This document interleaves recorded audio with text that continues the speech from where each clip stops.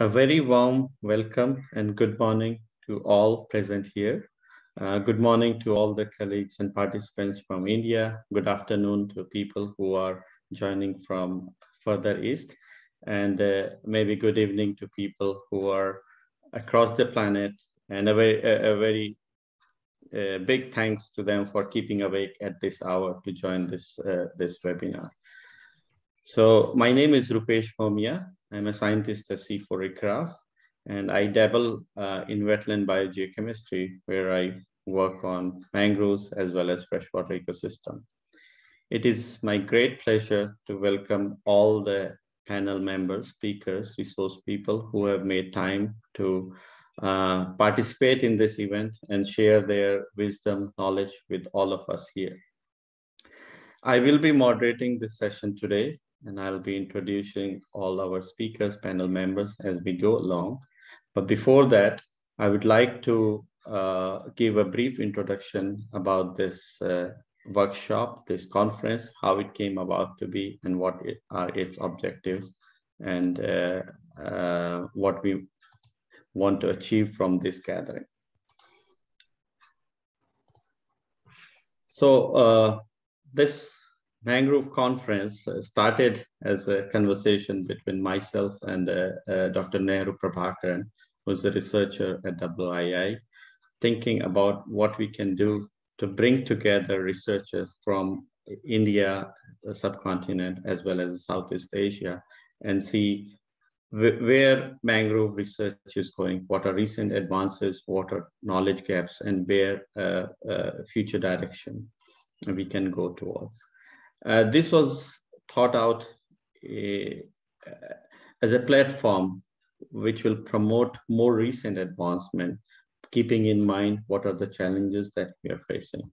So briefly, our motivation was uh, focused on shedding some light on, on, on the blue carbon ecosystems, mangrove ecosystems uh, play an important role. And the focus was that conservation restoration of coastal ecosystem or blue carbon ecosystem offer excellent opportunities and nature-based solutions for uh, excellent opportunities for nature-based solutions for climate change, but at the same time, these provide important co-benefits such as preserving coastal biodiversity, sustaining livelihoods, and maintaining ecosystem services. So it was pretty clear why these ecosystems are important. It's about time we start taking them seriously, start discussing uh, how we can enhance our understanding of these ecosystems and how we can address the challenges that are uh, being faced by these systems. So during the three-day event, three-day conference, this is to serve as a knowledge exchange platform where these advances and trends in mangrove research within Indian subcontinent can be discussed and some information gaps can be identified. So this is not something where this is like a unidirectional flow of information. We envision this as a platform for exchange of ideas, exchange of knowledge, and that will lead to further interactions among mangrove researchers, among practitioners, policymakers, and will result into partnerships and research collaborations between individuals as well as institutions for advancing mangrove scientific research in India and in the region.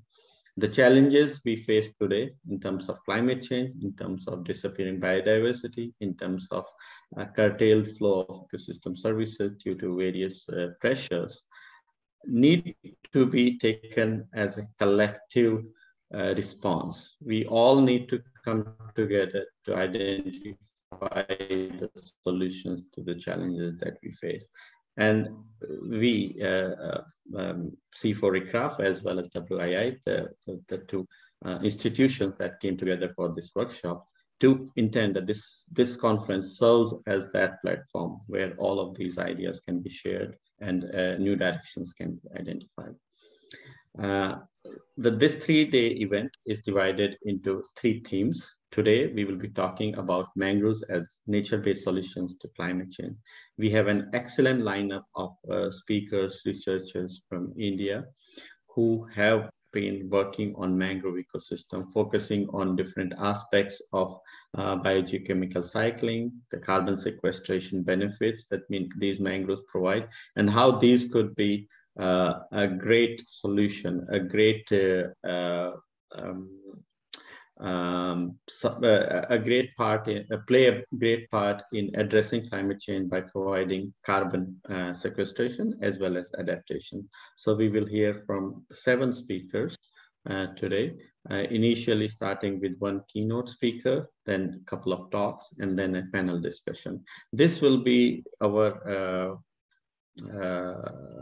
structure throughout this event. Every day we will have a keynote speaker followed by a couple of focus talks and then a panel discussion to delve deeper into the topics that were discussed today. Tomorrow on 9 December, the theme of uh, our discussion would be mangroves for coastal resilience and biodiversity conservation. So here we will again have a great lineup of speaker covering different aspects of coastal resilience, biodiversity conservation, the social and economic underpinnings uh, that are important in coastal settings and that uh, can sometimes provide opportunities of uh, addressing some of these challenges. On the last day of this event, uh, that is 10th of December, we will have a discussion focused on more recent advances in mangrove research, sort of looking at the new horizons where more work needs to be done, where knowledge gaps lie, and where the future directions uh, could be explored in by by using the collective knowledge of individuals as well as institutions coming together and addressing these challenges. We again will have uh, a great lineup of speakers. Here on third day, we will have some international speakers who can shed light on mangrove research undertaken in different areas, what we can learn from, from other experiences, from other research, and how we can use those to build a, a, research program uh, focusing on Indian mangroves. So with that brief introduction, I would like to uh, begin the, uh, our uh, uh program proceedings by inviting our first speaker. Today, we have pleasure of having director of WII, Dr. Dhananjay Mohan, with us, who will be opening or inaugurating this uh, meeting by providing inaugural address. Let me briefly introduce uh, him. He has a, a, stellar career in, as an Indian Forest Service officer. He is a 1988 batch uh, officer from Uttarakhand cadre, and he has been serving as director of Wildlife Institute of India since January 2020.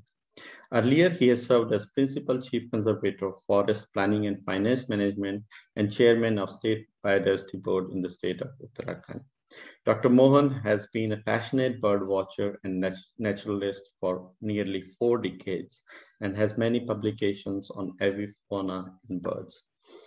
His uh, detailed bio is at our uh, workshop webpage and uh, to not go in detail and, and save some time for, for his uh, uh, words, I will uh, encourage everyone to go on the website and find more information about Dr. Uh, Dhananjay as well as other speakers. But uh, here I would like to invite Dr. Dhananjay Mohan to give our inaugural address and share his thoughts. Thank you, Dr. Uh, Dhananjay, and a warm welcome. Thank you. Thank you so much, uh, Dr. Rupesh Bhomia. And thank you for inviting me here today on this very, very important uh, uh conference three-day conference on, on, on an ecosystem, which is, I would say, a magical ecosystem.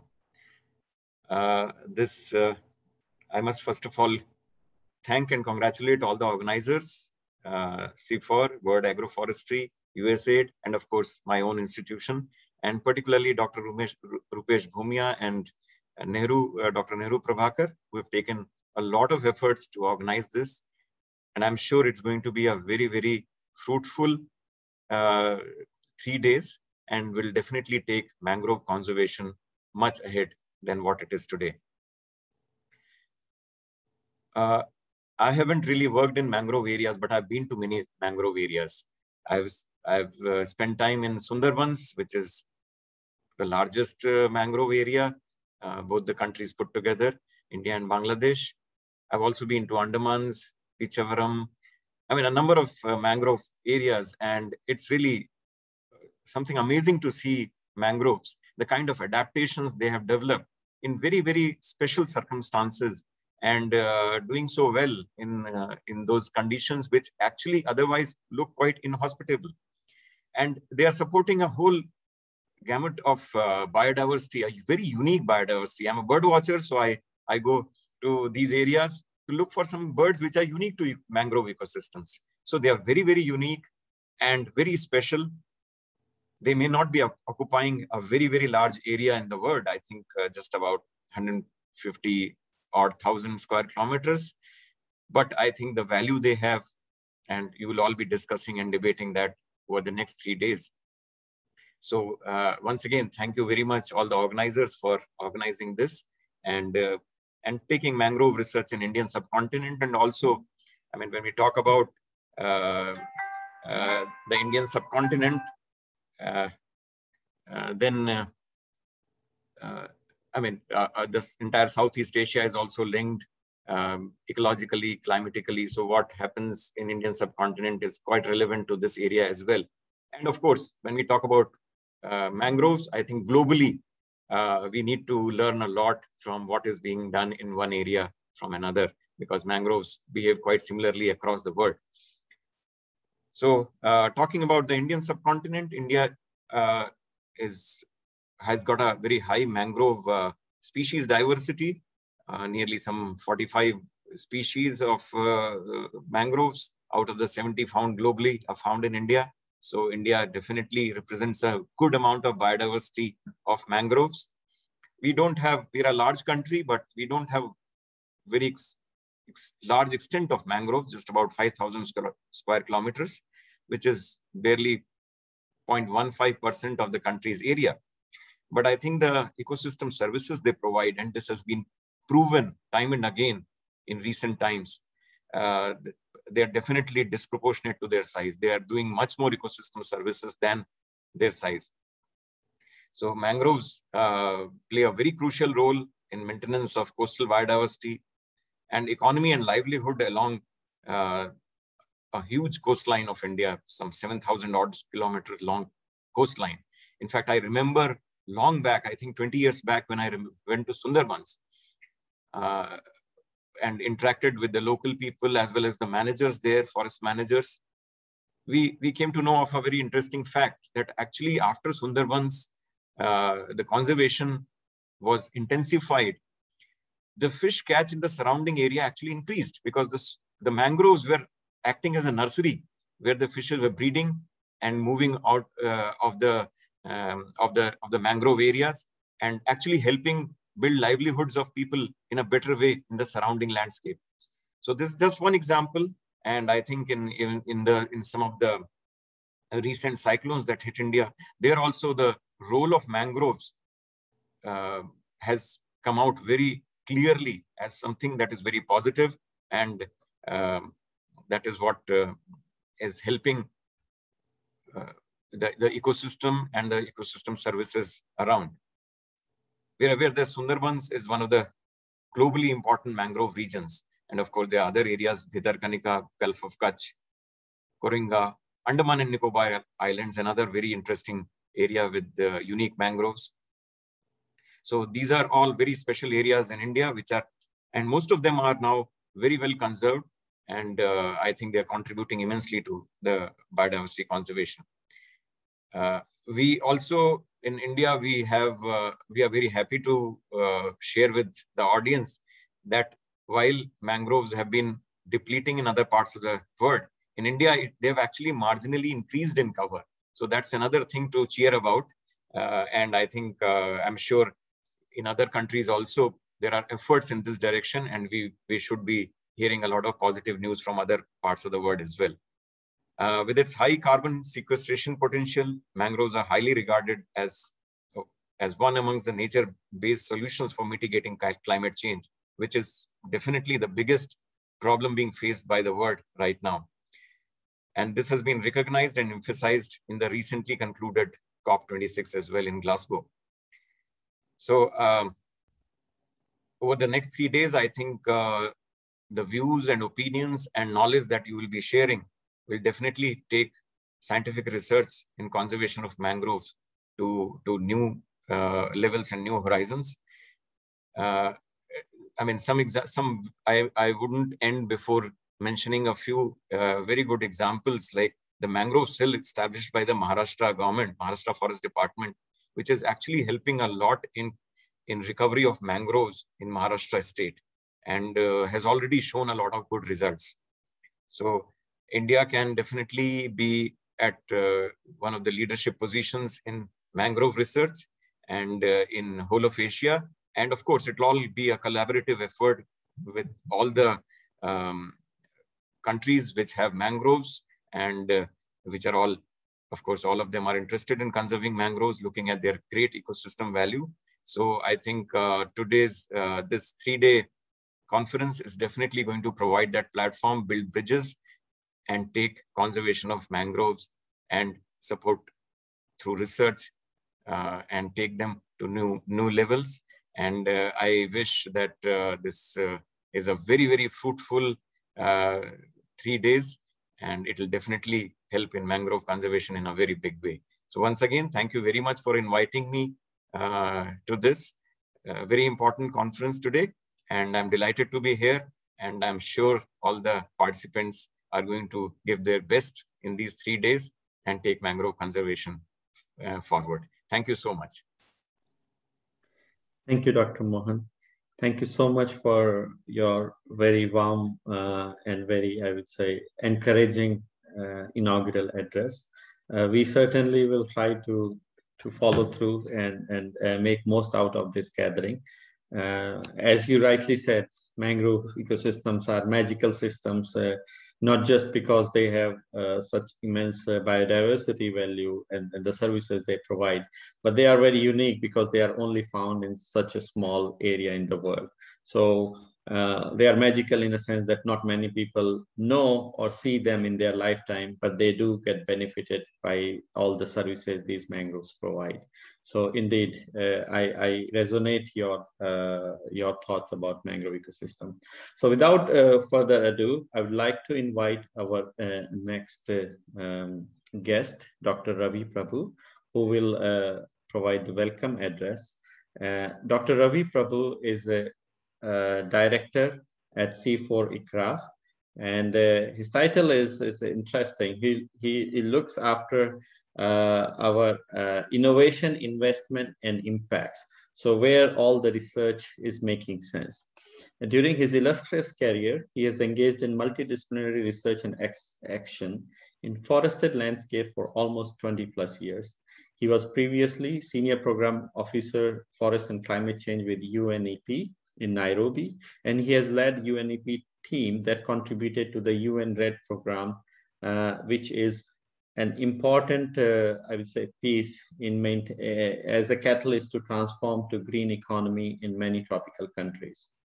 Dr. Ravi Prabhu has served on numerous international initiatives and committees, including the Millennium Ecosystem Assessment, where he has served on the review and editorial team, and the UN Millennium Project Task Force on environmental sustainability.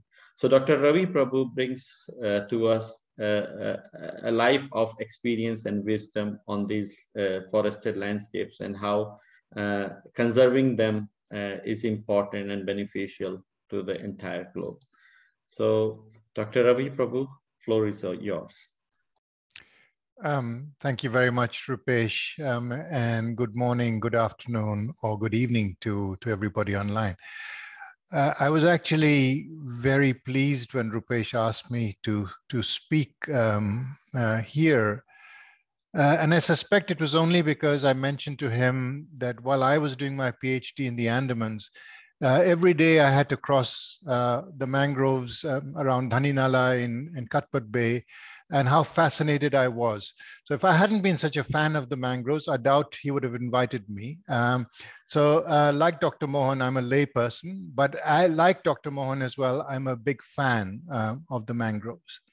I'm certainly not going to come here as a layperson and tell you how important uh, mangroves are. You know that, um, and you're going to discuss this over these three days. So I'm really pleased that this workshop is taking place.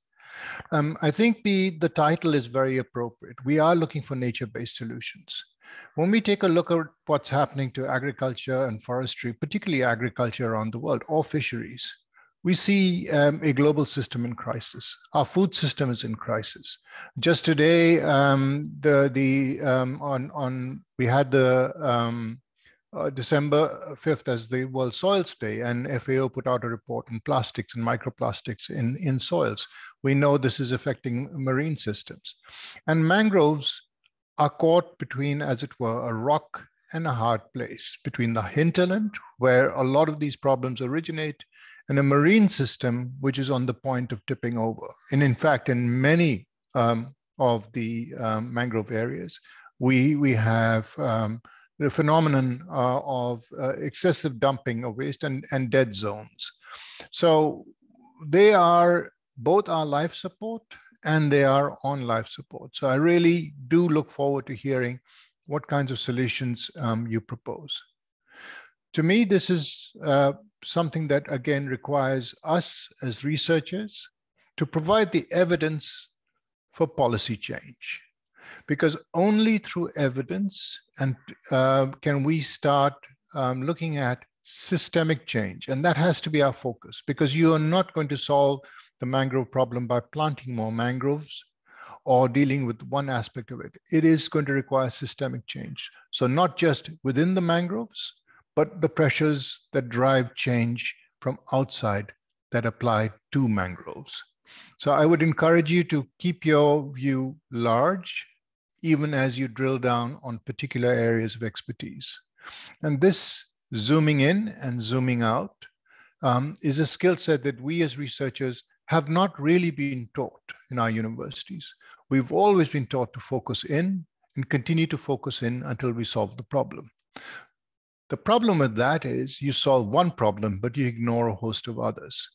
So it is particularly pleasing that I see that we have a wide variety of different kinds of um, researchers and thinkers at this uh, workshop so that we can try and connect bits of disparate knowledge to get a better understanding of the levers of change that we need within the system and without the system that are acting on the system from outside. So we need um, nature-based solutions because we cannot continue with high input um, uh, solutions because all of them inevitably call on um, excessive use of fossil fuels or materials that are persistent um, in nature and cause problems. From a CIFOR-ICRAF perspective, we are relatively uh, newcomers, particularly in the subcontinent, um, to this issue. So um, I, I, really want to congratulate Rupesh for being the flag bearer here. Um, and our recent work in uh, uh, and in, in the Andamans um, helps us to start catching up to the uh, amazing work that all of you have been doing. Uh, and I look forward to hearing about. In Indonesia, where my colleague uh, Daniel Murdiyarso has been working, we have a slightly longer um, uh, depth of experience um, in this area. But what this shows me, and, and that is perhaps uh, my closing sentiment here, is that we are not going to solve complex problems on our own. We need partnerships. And if there's one thing that could come out of this workshop, it would be new partnerships for solving problems. Let's ask the right questions together. Let's form the partnerships that seek to find those answers. And let's set our ambitions high. It will require systemic change and it can no longer be enough to solve parts of the problem. I go back to the 2002 tsunami um, and the role that mangroves played in saving um, a number of systems. But I use the tsunami also as a metaphor. On that day in Thailand, uh, not so much in India, but there were lots of tourists, and I'm sure many of their children were building beautiful sandcastles. And they had expected those sandcastles to, to last the next day so that they could come back and complete them. But they built them on the beach, and the tsunami wiped the sandcastles and much, much more away. So that just goes to show that unless we have a perspective that goes beyond average occurrences, we are not going to be able to deal with the shocks that are, we are going to face in the next um, couple of decades. So um, I would uh, urge you to keep complexity science in your um, uh, on your radar. To the that basically means working at multiple spatial and temporal scales as you try and um, resuscitate, save, um, and improve the productivity um, of the mangrove systems that are so vital, um, as uh, all of you know, uh, and as Dr. Mohan um, just outlined. So with that, I wish you a very, very successful conference. I think uh, this is extremely timely. Uh, and thank you very much once more, uh, Rupesh in particular, for inviting me to say this.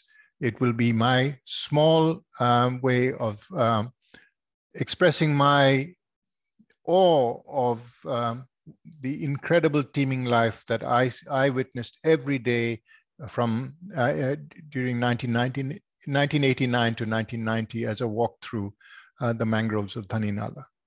Back to you. Thank you, Dr. Prabhu. This was incredible.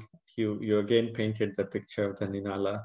And as you know, just recently I was with Dr. Nehru and I crossed that Dhani Nala.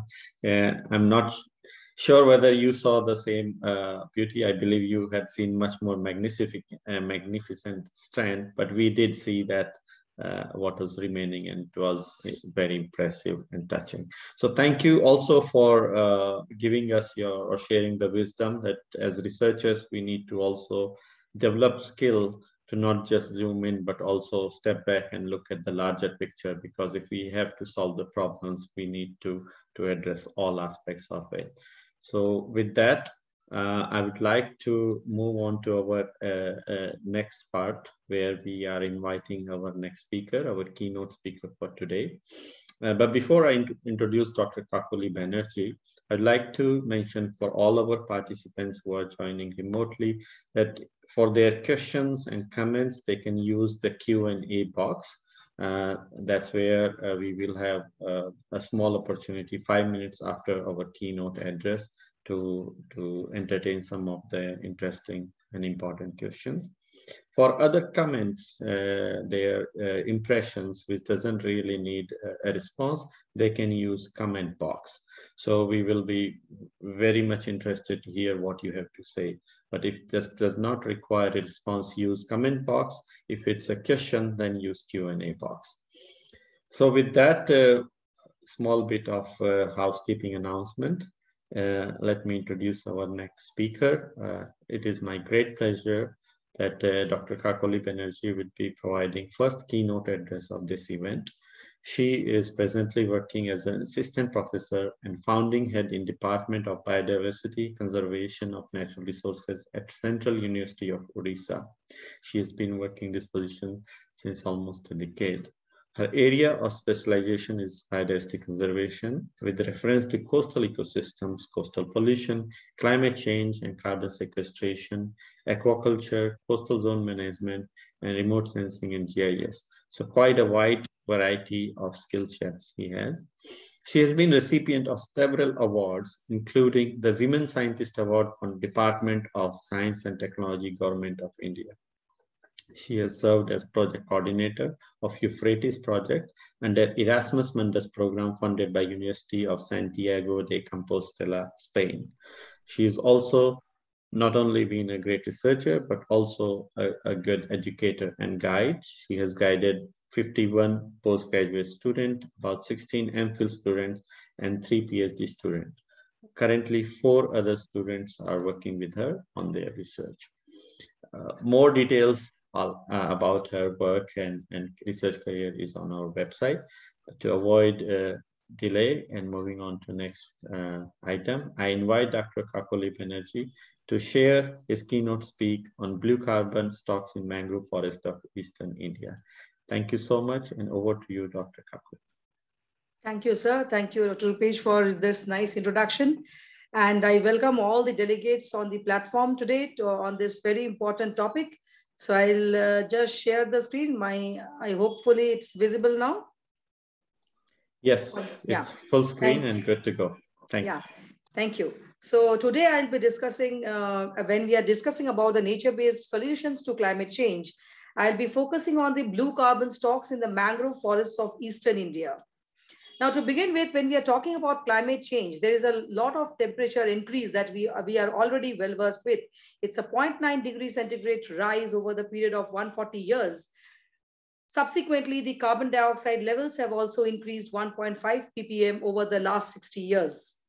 And uh, when we are talking about climate change and the challenges of climate change can be overcome by the storage of carbon over long periods of time and mangroves are one of those ecosystems which can sequester three to five times more atmospheric carbon dioxide than any other terrestrial forest. And that's the, what uh, uh, just a few previous speakers were talking about. So the productivity of mangroves ranges from 3.7 to 24.1 tons per hectare. That is, uh, that is why, and that too in the period of less than 30 years. That, that's the reason why we are focusing on the mangroves today. India is not a, a, a, is also a partner to this, and we have pledged that we are going to reduce 33 to 35 percent of the emissions by 2030. And with the large population, India is the world's large third, third, third largest emitter of the greenhouse gases.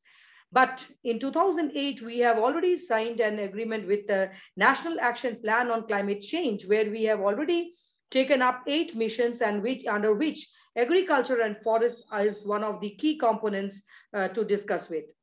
Now, when we are talking about the uh, forestry here, we are focusing on the mangroves. And as we all know, that to set up this stage, it's a, a, mangrove can be a tree, a shrub, palm, or a ground fern that we all know as per the definition. And owing to its versatility, it is a, a, a barrier against uh, uh, the storm and cyclonic depressions. It controls erosion. It is a biodiversity reservoir. It has a lot of medicinal properties which are yet to be explored. We are, we are still on the move and it's a source of bioactive substances. It is helpful in the biopurification of the environment. It is also providing alternative livelihood schemes. It's a house of endangered species. And above all, it's a natural library for all of us for the environmental education. Now, owing to this characteristics of its uh, thriving in the tidal uh, cycle, now we have a diurnal cycle here every six hours, and uh, we see that uh, the mangroves remain inside the water for six hours and six hours outside that. Now, because of its uh, special characteristics, we know that the different forms of its uh, of the different diversity exists both for the faunal diversity as well as the floral diversity. And as we have said, this is what happens, what we are just discussing uh, uh, just before, what Dr. Ravi Prabhu was telling that yes, the tsunamis can wash off now, this storm surges which are there, the, the, the normal trees and the uh, sister, the normal uh, uh, vegetation cannot support this, this total storm surge when it comes to happen in the, in the coastal areas. So it is only the mangroves who can resist us from such type of uh, inundations. Now, if you look into the mangrove map of India, you can see that with the coastline of 7515 kilometers, we are, are almost having 6,749 square kilometers of area, and about 60% of those mangroves lie in the eastern coast, that is on the Bay of Bengal. And if you see in the world map, we, uh, we all know that Southeast Asian countries are one of the leading areas of mangroves in the world although mangroves have been divided into two major groups in the eastern group and the western group comprising of the, the eastern half comprising of India, Southeast Asia, Australia, East Africa and Western Pacific and the western group comprising of West Africa, South and North America and the Caribbean countries. Now, why? Why we are focusing so much on the mangroves? it is basically a sink of carbon. It is not a single compartment. It is the whole ecosystem as such, which is sequestering carbon in the, in the mangroves, in the tidal marshes, in the sea grasses, in the salt marsh grasses, in the, in the sediment, as well as in the water column. So what exactly is happening is the carbon dioxide that is being assimilated or absorbed by the plants in the to photosynthesis, that is the mangroves, there they, it is assimilated and it is stored in the form of uh, carbon.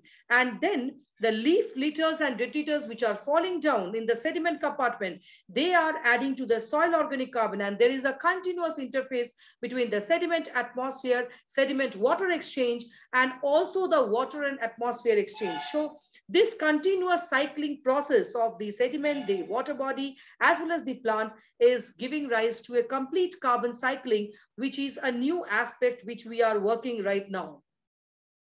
Now, the blue carbon initiatives that has already been taken up in 2017 by the IUCN has categorically uh, tried to understand this global problem and they are now uh, giving us opportunities to standardize the methods for quantifying this. And uh, myself as a partner for uh, US, uh, uh, this particular standardization techniques, we are now coming up with a manual which will be, which will be floated very soon from the US so we are trying to make a common standard for the data collection, quality control.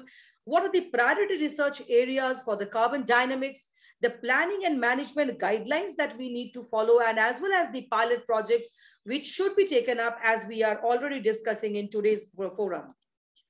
Now, if you look into the, if you compare the mangrove forest along with the other forests, you can see that mangroves, tidal marshes, and seagrass meadows are the basic contributors that who are actually sequestering carbon to the maximum extent. And if you see the proportion, you can see that 40% and 60% proportion is there for mangroves.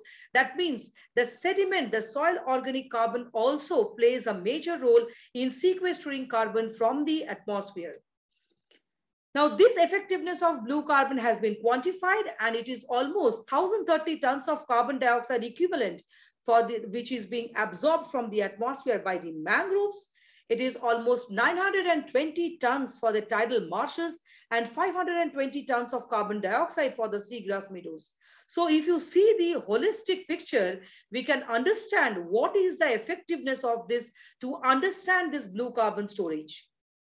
Now, the integrated carbon observation system, that is the European based uh, pillar for the GHG observation, they have also uh, uh, focused on the knowledge supports right now. And they are on the verge of uh, making decision of the policy and the decision making for combating climate change. And for that, we need to have a distributed research. Just now what Dr. Ravi Prabhu was telling, that just we need to have high precision, long-term observations, facilitating research to understand carbon cycle and to provide the sufficient information on the greenhouse gas and their present status. Now, when I am talking about of all these, uh, uh, we have what we have done, we should now focus on the study area where we have been working right now for the last uh, 10 years of my research work in Central University of Orissa. We have been focusing on two major mangroves, that's the Bhitarkanika mangrove ecosystem and the Mahanadi mangroves, where we have the, the lower stretch. And here, we, as we all know that it is supporting 35 different varieties of mangroves. Now, apart from that, we have to, when we are looking in a holistic picture, we have also to concentrate on the water bodies. Phytoplankton, which are the atmospheric sink of carbon dioxide, providing almost 40% uh, of oxygen to the atmosphere. It is 30 to 50 billion metric tons of carbon that is being fixed by these micro algae. Now, this is often overlooked. We are not taking into consideration to that much extent of working with the phytoplankton, which are also the important component of the clean development mechanism and has, and has a, a very good efficiency in absorbing nutrients. Now, these are some of the pictures of the phytoplankton that we have identified, and you can find there in almost all the uh, uh, all the water bodies in and around our Indian coast. And out of that, you have you will be uh, you will you'll be knowing that Coscinodiscus, this is only species which is acting as an indicator species for any pollution levels that we have already identified and have come up with some uh, publications as well. Now, we also have tried to understand what is the amount of carbon in those phytoplankton. And uh, by the standard formulae, we have tried to understand the uh, amount of carbon that is present in the different uh, plankton cells. And because they are unicellular, we need to enumerate singly, and then we have to uh, understand its on its volumetric on, on its volumetric aspect. Now, not only that, we also have mangrove associates, the seaweeds, which are edible in character, and they have lot many other uh, biochemical properties. Apart from that, if you are concentrating only on the carbon aspect, we have focused on the three important species, Enteromorpha, Catenella, and Ulva. And out of this, Enteromorpha intestinalis have been found to store maximum amount of carbon with 1100 almost approximately grams per square meters. Although they are they are sessile in nature, they are found only on the substratum, but yet these are uh, widely uh, uh, uh, usable. And you might, and some of my researchers are also carrying out some new products formulation from these seaweeds, which is not yet uh, into a commercial market in India. Of course, to some extent, we have it in Southeast Asian countries and Western countries too. Now, Apart from that, we have the Porteresia coarctata, the salt marsh grass, where here also we have estimated the carbon, which is which has varied from 0.8 to 1.7 megagram per hectare. So it is, I mean, we need to see that if you if you see that every compartment of the uh, of the floral community in mangrove ecosystem are sequestering carbon. This is that we have gone for the mangroves, so we have uh, taken up uh, the mangrove for the ASBER standard protocols. We have measured the uh, biomass of the mangroves. We have estimated the carbon in the field. Apart from that, the very important factor is what is the ambient environment? The mangroves cannot grow anywhere and any everywhere with it because it varies with the substratum characteristics. Every species has its own characteristics to survive. For that, we have taken the soil and water parameters uh, with, uh, with respect to pH or salinity, organic carbon, texture, as well as bulk density. So, and then why? Why we are into so much of the sediment? Because they are the basic inputs to the fertilization of the water. Because when the outwelling comes the from the adjacent land masses they fertilizes the water because of which we have lot amount of fisheries. And that is the basic background for the productivity of the of the water bodies. Apart from that we have the crabs on the sediment compartment which are actually the detritivores and through that, we all know that through this food chain, it is reaching, this carbon is reaching to the highest tier, that is the Sundarban, the tigers that we are having only in Sundarbans, which is the largest mangrove reservoir of having the Royal Bengal tigers. So here, the tigers have a very different aspect of their own because they are feeding basically, apart from the wild boars and deers, they feed on these crabs and fishes because of which they are so unique in characteristics. Now, uh, we have also tried to enumerate the biomass values. Uh, and as I have already mentioned that with the changing characteristics of the uh, freshwater flow, the, uh, the tidal cycle, there is a difference in the, uh, in the biomass values. So if you see the Bhitarkanika area, we have got, we have worked with five important mangrove species, Avicennia marina, Avicennia officinalis, Excoecaria agallocha, Rhizophora mucronata, and Xylocarpus granatum, which are the most dominant species as we have recorded with this relative abundance. And in that you have seen that in the, in the first case in Bhitarkanika, we are getting the uh, the uh, the Avicennia officinalis biomass to be extra higher, highest in comparison to the other species. Whereas in Mahanadi mangrove belt, which is a little bit more saline area, we are getting the Rhizophora dominance. But overall, if you see the lower graphs, you can see that the Excoecaria agallocha, which has a wide adaptability to the, uh, to the changing salinity environment, you have the maximum amount of Uh, the biomass or in the Excoecaria galocha. Now, apart from that, when we are talking about the water component, component the mangroves play a major role in, uh, in regulating the pH of the water body. As we know that the more amount of dissolved inorganic carbon increases in the water body, we have the water, we are, the water pH decreases. On the other hand, it has a positive relationship. The soil organic carbon has a positive relationship with the dissolved inorganic carbon that we have studied. We have also studied to uh, the, the above ground biomass as well as the above ground carbon, and we have calculated the carbon sequestration potential, and uh, which is almost around uh, for 550 for 47 in the Bhitarkanika and 363 uh, tons of carbon dioxide equivalent. But comparing the whole of Orissa and uh, taking an average mean carbon of 124 tons per hectare, we have calculated that almost 64.8 teragram of carbon dioxide is being absorbed by these unique vegetations in the coastal state of Orissa. We have also tried to develop some regression models and we have come out with 24 linear regression models and 120 non-linear regression models where we have found out that every uh, uh, every uh, tree, I mean, the, all the five species that we have worked on has shown different type of equations for which it is, it is very clear that and we have this time, for the first time, we have done not only taking the biotic parameters, but also the abiotic parameters into consideration when we are talking about how much influence it is occurring for the biomass and carbon for both the ecosystems. So this is how we have found out that it is very, very, very site specific.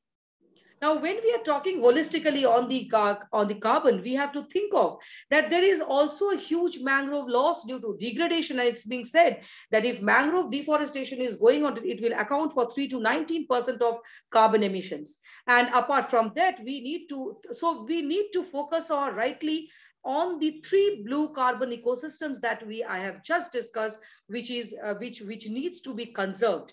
And for this, we have done the land use land cover uh, mapping of the Bhitarkanika mangroves. And there we have come out that uh, in, in, the, in the last 10 years, what we have uh, found out is the croplands are increasing in, in comparison to the dense forests.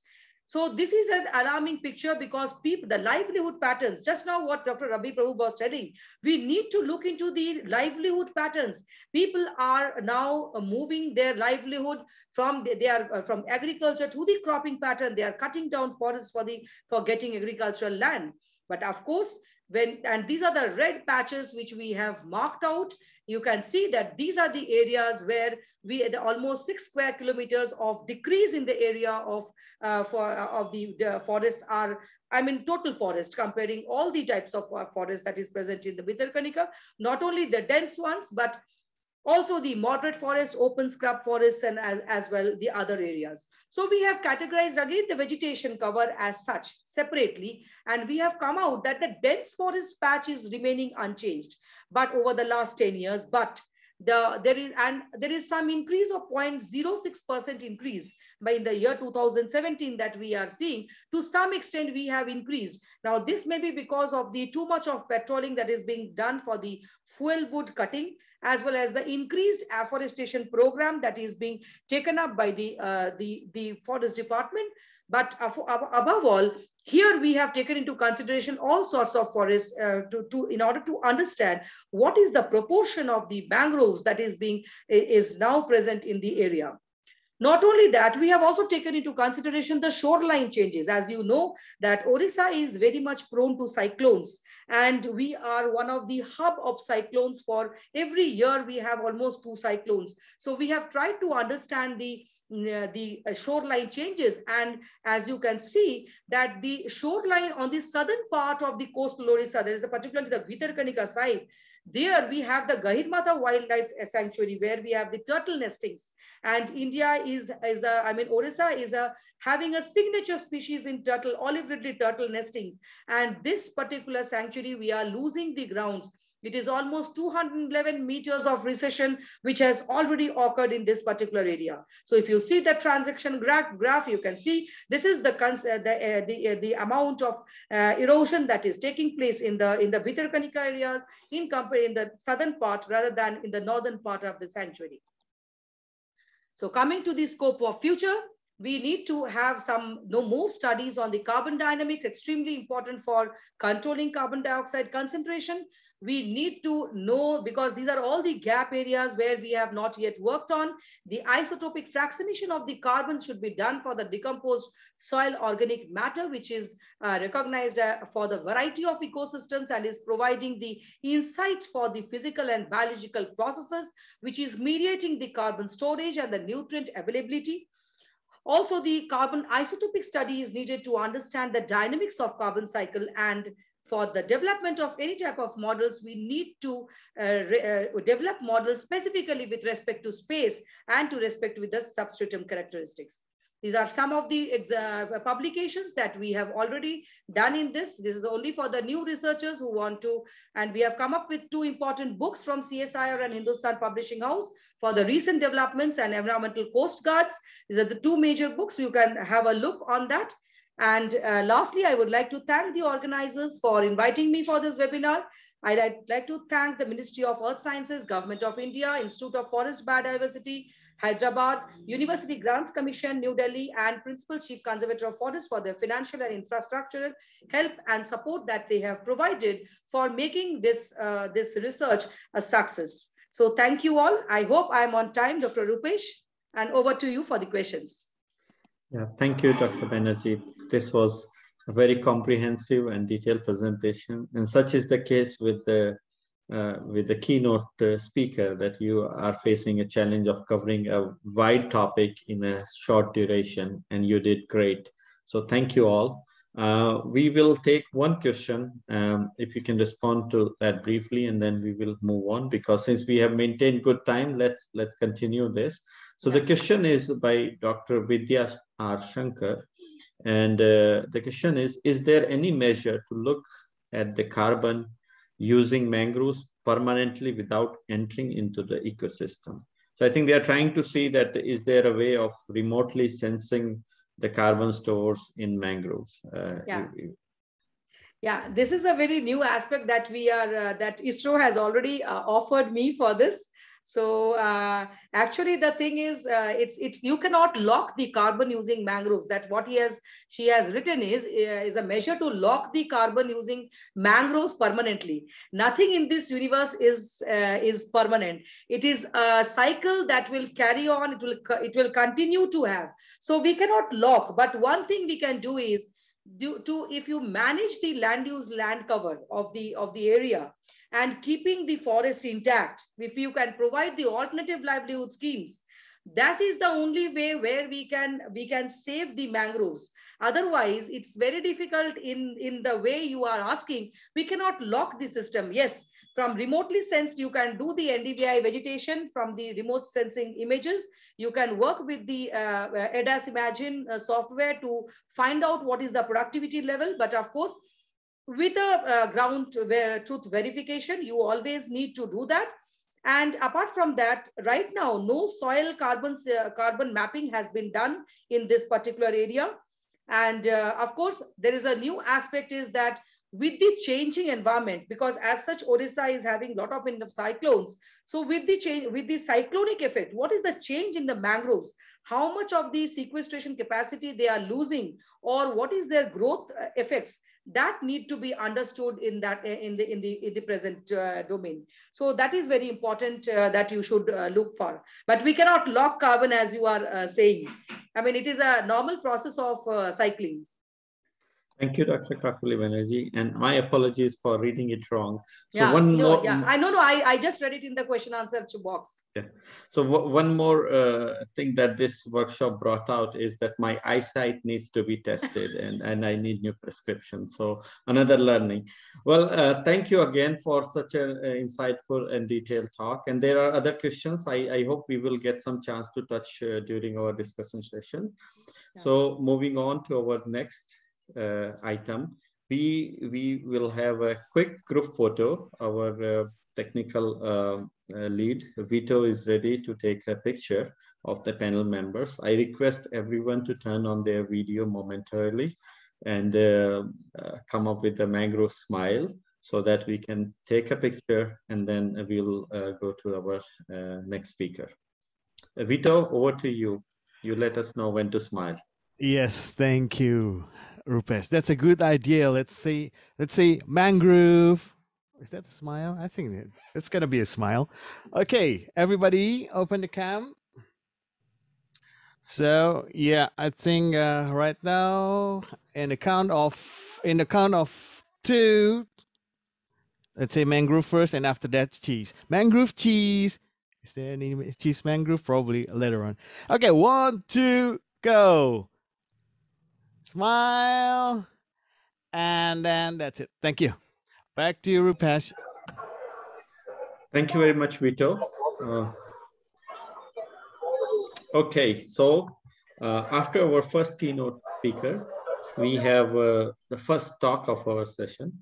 This talk is about uh, mangrove carbon stocks from island perspective. We have heard about Andaman Nicobar Islands a couple of times already in this session.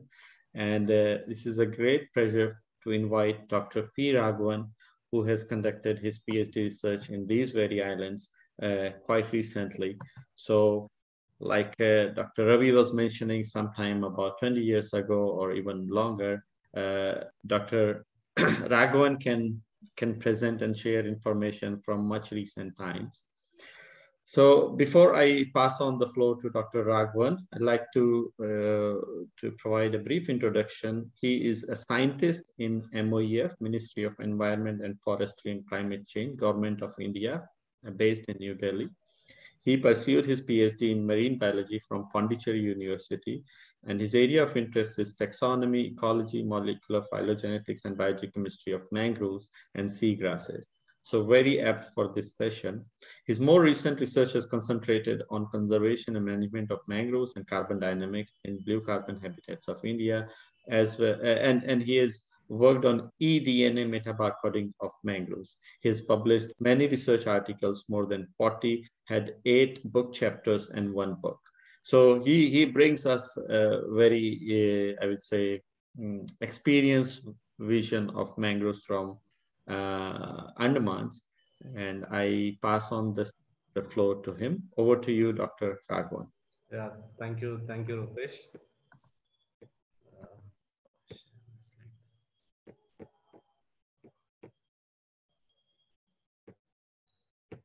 is my slides are visible? Yes. Can you make them on the full screen mode? Yeah. Yes. Good. Yeah. Thank you. Thank you to all. Good morning to all. Uh, today I'm going to share my work experience, uh, uh, which I gathered uh, at uh, gathered from Andaman Nicobar Islands uh, on estimation of ecosystem carbon stock of Andaman Islands. This work I have funded by the Department of Space as a postdoctoral fellowship at the Physical Research Laboratory under the mentorship of Dr. Sanjeev Kumar. So before going uh, to my research findings and other things, I would like to brief about what is blue carbon, why we have to study the blue carbons, how these blue carbon ecosystems are very much important for developing countries like India.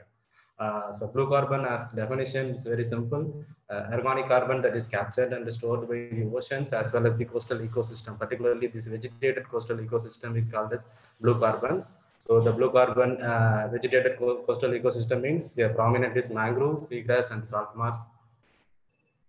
Uh, so even though the blue carbon uh, definitions includes oceans, in recent times even IPCC and in all the uh, climate change uh, treaties and uh, Uh, efforts, these coastal vegetated uh, habitats, uh, habitats are highlighted in the recent time. The reason behind is, even though these ecosystems are very, they, they are very small in terms of area, their their carbon stock potential, highest carbon stock per unit area, and they have a high carbon accumulation rate.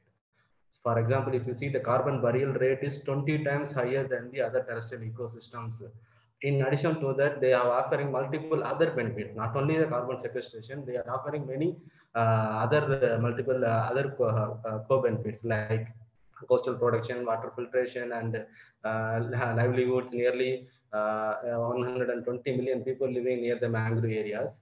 And their, their, their annual ecosystem service in terms of monetary values goes uh, 33,000 to 57,000 US dollar. When you look at this is the some of the comparison graphs. Uh, uh, if you see uh, the total ecosystem carbon stack of mangroves is around 1000 uh, megagram of carbon per hectare. When you compare with other ecosystems, it is very less. The same way the carbon burial rate, carbon burial rate also it is much higher in blue carbon ecosystems than the other terrestrial ecosystems, as well as these ecosystem services in terms of monetary value uh, as, is also much higher than the other ecosystems. So coming to mangroves, uh, since my research area is on mangroves, I just give a brief about the mangroves. You know very well that mangroves are specialized plants. Uh, they are growing in tropical and subtropical coast. The total area is around 1 lakh uh, 40,000 square kilometer and they are in uh, 118 countries and the global uh, true mangrove species in the global mangroves is 84. the threshold limit is sea surface temperature at least at 20 degrees Celsius. Here you can see some of the peculiar adaptive features of the mangroves. So even though the blue carbon habitats are uh, having the potential to store more carbon, they are the source of uh, greenhouse gas emission too if these ecosystems are not properly handled or if the ecosystems are witnessing degradation. So this is uh, this part is uh, so this ecosystem have the potential to act as a sink as well as the source. So we have to manage this ecosystem in a proper way. The, the current situation, the current uh, degradation rate of mangroves is 0.2 percent. Uh, I, I, can say this is a good sign when you compare the uh, 10 decade before the rate is around 1 to 1.2 percentage. Now the degradation rate is decreased. So the carbon stocks are disappearing at the rate of 1.8 percent per year. Uh, between 1996 to 2016, at least we lost 158.4 million tons, which is equivalent to five, around 600 million tons of carbon dioxide. Particularly when the recently the global emission of greenhouse gas from the mangrove loss is quantified, and they have projected that the the coast of Bay of Bengal and Andaman Sea are hotspots for uh, global mangrove loss as well as the emission of uh, uh, greenhouse gas emission emission of greenhouse gases. These are all the average global average greenhouse gas emission from the mangrove sediments if they are witnessing degradation. So, and, and again, the mangroves are, uh, even though the mangroves are distributed in tropical and subtropical coast, they are, uh, uh, they are most effective nature-based solution at the country level rather than the global level. The main reason is their the restricted distribution throughout the globe. So if, if any country which having a mangrove blue carbon ecosystem, if they want to use this ecosystem for climate change mitigation as well as adaptation measures, they have to understand the um, they, they understand the uh, entire carbon all the component of the carbon cycle as well as the proper estimation of the each and every component of the uh, carbon cycle of this ecosystem is highly imperative to applying this ecosystem as a natural based solution. So coming to india india is uh, one country which have all the three blue carbon ecosystems however um, mangroves are most prominent blue carbon ecosystem along the Indian coast, uh, followed by seagrass and salt marshes. But seagrass and salt marshes are uh, recent times only get much attention uh, in terms of climate change, and now the policies are making for the better conservation and management of seagrass and salt marshes in India. in mangroves, the total area of mangrove cover in uh, India is, as per FSA data, it is 400 and, uh, 4,975 square kilometer and it has 46 true mangrove species, whereas seagrasses, it is around 500 square kilometer and consists of 15 species. Uh, salt marsh, it is 400 square kilometer and it has 14 mangrove species. However, the carbon storage potential of Indian blue carbon ecosystems are rarely been uh, studied and it is in an infant stage only. So uh, uh, after realizing this uh, potential of these ecosystems, you may know that many countries are included that the national in, in, in, their NDCs. The NDCs means it is the national determined contribution. That is the efforts and the contribution taken by the country to mitigate the climate change as per the Paris Agreement. Uh, so far, 28 countries uh, included uh, these ecosystems for mitigation and 59 countries included this ecosystem for adaptation strategies. India included this as a for adaptation, not a mitigation measures. So blue carbon inventory. So e even though these ecosystems are potential for carbon store, how this uh, carbon has uh, need to be estimated. For this, IPCC has given uh, three tier methods. The tier one is it is based on the uh, global average values. The uncertainty level is high, more than 50 to 90 percent.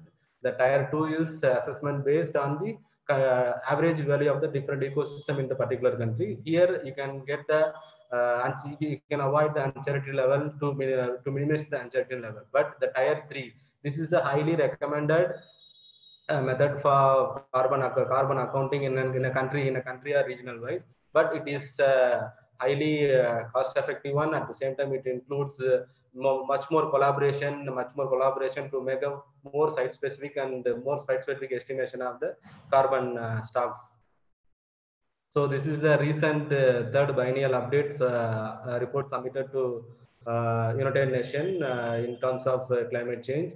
So even though India is a India is the third largest greenhouse gas emitter, if you look at the per capita per capita greenhouse gas emission is around 1.96 tons of carbon dioxide equivalent, which is uh, lesser than the global average, that is 6.5 tons of carbon dioxide, and it is much lesser than the other developed countries. So even the I, I can say that uh, the still the low like uh, low carbon lifestyle in India is the major contributing factor for this, and uh, and another factor is uh, uh, so far India the emission intensity of India's GDP has reduced by 24% between 2005 to 2016. So this is a this clearly shows that uh, how effective we are, uh, how effective we are, and how our uh, natural resources are play a major role in mitigating the global climate change. So these are all the methodologies. Even though our systems are helping uh, in uh, mitigating the global climate change, still we have uh, many research gaps. When you look at the methodology, the greenhouse gas emission from the wetlands and other lands, these are all there is no data data are available for the greenhouse gas emission from the wetlands and the other lands in uh, in, in, in, in, in Indian subcontinent. So these needs to be quantified and then only we can give the very clear picture about our uh, uh, blue carbon ecosystem in countries uh, climate change mitigation and adaptation. So to addressing these uh, research gaps, uh, as we have carried out the study at Andamans uh, to estimate the ecosystem carbon stock of uh, ecosystem carbon stock of mangroves. Uh, so in this study, I have measured two components, vegetation carbon and soil organic carbon. still, because these two, com two components are the major representing the major ecosystem carbon. For vegetation, vegetation carbon estimation, I have covered uh, I have covered 41, 43 sites in Andaman Islands, and by all I have used followed allometric method. For soil organic carbon stock estimation, I have covered only South Andaman Island. Uh, so far, South Andaman Island, uh, nearly 380 soil samples were analyzed for, for this. And at the same time, we have estimated the how uh, this soil carbon stock is differ between the different environmental setting as well as the within the system. So this is the sampling strategy to assess the within system uh, uh, soil organic carbon variability. We have collected the samples in three different areas. One is fringe and interior and deep interior. Fringe means it is very close to the, we can say very close to the mouth and deep interior, it is more than 100 meter, uh, 100 meter from the mouth of the uh, mouth of the creek and deep interior means it is more than 200 meter uh, from the mouth of the creek.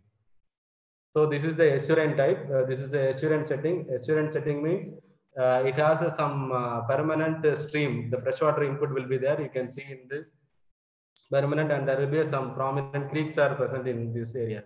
Whereas this is a coast open open coast type. Here the mangroves are directly fringing the coast. So these mangroves are directly exposed to uh, waves and tides. Here the sampling strategy is like that fringe, interior and the landward fringe as well as the landward mudflat. So this is the vegetation carbon stock uh, uh, results. If you see the vegetation carbon stock, the mean above ground biomass is around 409, 470 megagram per hectare. The above ground carbon vegetation carbon is uh, 225 megagram per hectare. Whereas in below ground carbon, it is 65, uh, 65.04 uh, megagram per hectare. When you compare the island wise, you can see Little Andaman is having higher vegetation carbon stack than the other islands. When you look at the species wise, you can see the, the dominant species of the Rhizophora mucronata, Rhizophora and the Bruguiera gymnorrhiza, they have contributing a major contribution. Uh, in this, you can see the Sonneratia griffithii. Sonneratia griffithii is one of the critically endangered mangrove species, but this species is contributing more uh, uh, fifth place in contributing the total vegetation carbon. So the main reason is the Sonneratia griffithii is a very gigantic tree. The even the diameter of the the single tree, most of the trees available in Andaman is mature, very, very mature trees. Uh, their diameter is goes more than uh, 400 to 600 centimeter. So that is the, they have representing uh, higher, higher basal area. So that will reflect the high carbon vegetation carbon stack in mangroves of uh, Andamans. So this is the, the, the, the comparison of Andaman mangroves with vegetation carbon with other mangroves. When you look at that, the Andaman mangroves are having uh, I can say it is more than double the amount of carbon in terms of even above ground as well as the below ground. So coming to the soil organic carbon stack, the mean soil organic carbon stack is around 331 megagram per hectare. Soil organic carbon content is 3.94 percentage and uh, density, carbon density is 40.23 kilogram per meters cube and the carbon accumulation rate carbon accumulation rate is uh, 112.64 gram of carbon per meter square per year. Uh, so when you compare the, uh, the different environmental settings, estuarine mangroves and marine mangroves, both are having almost similar soil organic carbon stock. The main reason is even though the different, even though in Andaman's uh, different environmental settings are there. There is a no perennial rivers. Perennial rivers are absent in Andamans. So there is a no continuous freshwater inflow uh, in those in these areas other than rain. So that's why even though two different environmental settings, they behave like a same. That is the main reason these two uh, environmental settings are having a similar organic carbon stock. Here you can see the comparison. This is the average value of uh, comparing all the studies. Here also you can see the soil organic carbon stock is again more than double the amount of other uh, mangrove habitats of India. So this is the uh, detailed comparison. Here you can see the, even though the uh, Andaman mangroves are having more uh, soil organic carbon stock than the other studies, I, uh, I can say that the main reason is the, the soil core depth. It is not uniform. It is vary from uh, surface to 100 uh, centimeter. If you take a 100 centimeter, then you will probably get a more value. If you take only 10 centimeter studies, you will get a very minimum value. So we have to standardize these methods once we standardize this method, then only we can say, then only we can give the actual picture of the carbon uh, stock in the Indian uh, mangrove habitats. So this is the entire ecosystem carbon stock. When you come to the entire ecosystem carbon stock, in South Andaman only, it is uh, around 545 megagram per hectare, which is equivalent to around 2000 megagram of carbon dioxide. So the South Andaman mangroves, the, the present South Andaman mangroves are uh, storing the carbon storing potential. That is vulnerability, potential is uh, 200, 2000 megagram of uh, carbon dioxide equivalent. So if we disrupt any, each and every hectare, hectare of uh, South, South Andaman mangroves, then they have, they have the potential to emit around 2000 megagram of carbon dioxide. So in that way, each and every hectare of mangroves is very essential. We have to preserve the degradation of the already existing mangroves. This is more important. At the same time, these existing mangroves have the potential of sequestering the carbon at the rate of uh, 0.17 megagram of carbon per hectare. This is the mitigation potential. So whenever we are going for uh, blue carbon uh, uh, storage, there is a two component. One is the carbon which is already available and one is the carbon which is uh, sequestered every year. So this is uh, more important. We have to assess the both things. So in a, in a overall representation in South Andaman, as usual, the soil soil of South Andaman mangroves are representing 61% of the carbon, followed by above ground bioma, above ground carbon and below ground carbon. So these are all the uh, within system variability, how the within the system uh, uh, the soil organic carbon stock is differ. Even though the Andaman, whole Andaman and Nicobar Island is comes under the same climatic condition, we can find different variation between the environmental, uh, uh, uh different variation in the carbon stock with reference to the uh, micro topographical changes and the tidal fluctuation and other things. When you look at the estuarine and the marine mangroves, Uh, uh, their soil organic carbon stock is almost similar, whereas uh, even the carbon accumulation rate is almost similar. When you when you see this uh, between within the site, the estuarine fringe and the estuarine interior, interior mangroves are having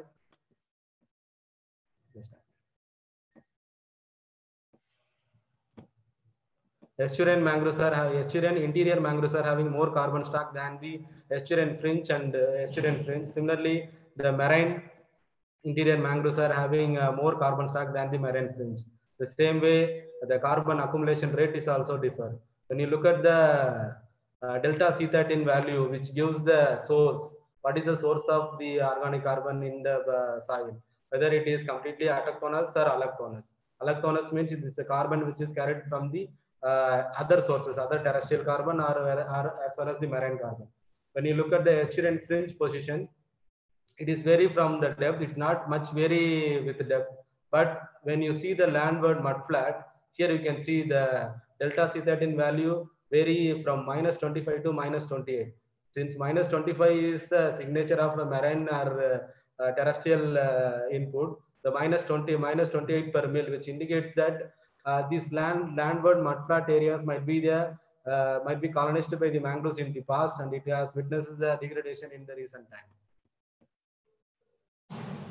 so not only uh, beyond the burial uh, mangroves are uh, contributing a major source for uh, the major source for major source of dissolved organic carbon as well as the particulate organic carbon and dissolved inorganic carbon these particularly the dissolved inorganic carbon represents more than 52% of the uh, net primary productivity in mangrove. So the the burial represents only only a very uh, very uh, minimum portion of the total uh, uh, net primary productivity of the mangrove. So we have to understand the lateral export of these other carbon uh, fractions to understand the entire understand the whole carbon storing potential of the ecosystems. So in, in case of mangroves, you just see the burial represents only 14% uh, percentage of uh, global carbon burial, whereas DIC exports represent 28% of the global export and DOC represents 13%. POC is not yet known. The data are very minimum. So we have to understand each and every component of the uh, every component of the carbon cycle in blue carbon ecosystem to uh, use of this ecosystem for climate change mitigation of any countries. So last but not least, ecology is the permanent economy as said by the Sundarlal Bahuguna, uh, the leader of Chipko movement. So instead of uh, standing against nature, it is better than it is better to go along the nature. So we have to choose. We go along the nature or uh, this photograph shows along the nature, this photograph shows against the nature. So we have to choose. So it is in the hands of all the citizens, all the citizens of the countries, those countries are uh, uh, consist of these blue carbon ecosystems. Thank you. Thank you, Dr. Ragavan.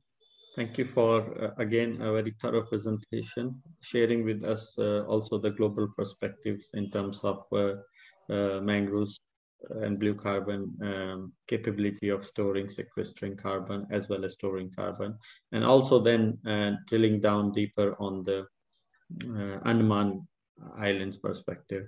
It is very good to see the research you have conducted in terms of putting the value, how much of carbon is stored per unit hectare, yes. and what is uh, under uh, you know severe risk if these areas are degraded because very often policymakers or decision makers uh, require these kind of number hard facts uh, while making this uh, decisions in terms of whether a particular area of mangrove has to be converted uh, into some other land use type, what is at stake. So this kind of research is very prominent.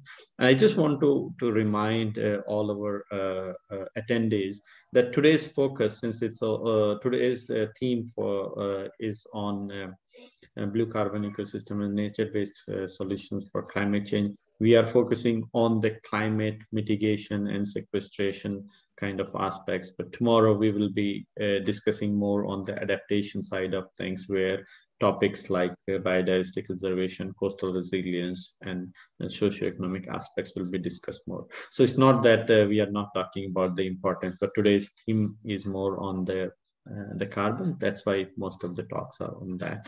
So we have uh, sort of run out of time. Uh, there are few questions in the, in the Q&A box. I will encourage all speakers as well as panel members, try to answer them uh, by typing if it is possible. We can always take them again in our discussion section, but uh, we will like to take a short break now. Uh, we are already four minutes into that break time but we will reconvene again at 11 a.m. India time, which is about six minutes. During this time, Vito will play some short videos, which are interesting and informative. So please uh, see them if you can. Otherwise, take a break, uh, grab up a cup of coffee or water or uh, uh stand up, stretch your legs. But we'll meet again at 11 sharp for rest of the program. Thank you. Uh, we start our uh, part two of today's session. Uh, we had a very productive, very insightful, insightful first session where uh, we had inaugural and welcome address, and then a keynote address by Dr. Kakoli Banerjee and a talk by P. Ragavan. We'll have one more talk today and then a panel discussion where two presentations and then uh, a lot more discussion and sharing of ideas. So to invite our second uh, speaker today for talk, we have with us Dr. Anirban Akhand, who is a visiting researcher in Coastal Estuarine Environment Research Group, Port and Airport Research Institute, Japan. His research interests are carbonate chemistry and carbon cycle, both organic and inorganic in estuaries and coast. And then he has also looked into greenhouse gases in maritime and freshwater systems and blue carbon and coral ecosystem dynamics concerning climate change. So he would be a very good second speaker after the introduction of this topic uh, in earlier part. Dr. Anirban has obtained his PhD from Faculty of Sciences, Jadavpur University, and completed his postdoctoral research in the same school. He for his postdoctoral research, he joined Port and Airport Research Institute from uh, May 2016 until March 21. He has more than 40 research publications and uh, participated and delivered presentations in various national and international seminars and conferences. Dr. Akhand will be talking today on biogeochemical underpinnings and associated processes in coastal mangrove forests. So a little more sort of a a, a, zoomed in version on different processes that makes these mangrove ecosystems very unique and allows them to sequester carbon. So with that, Dr. Anirban, floor is yours. Thank you. Thank you, Dr. Bhomia. Uh, am I audible? Yes, very clearly. Okay. May I share my screen? Please go ahead.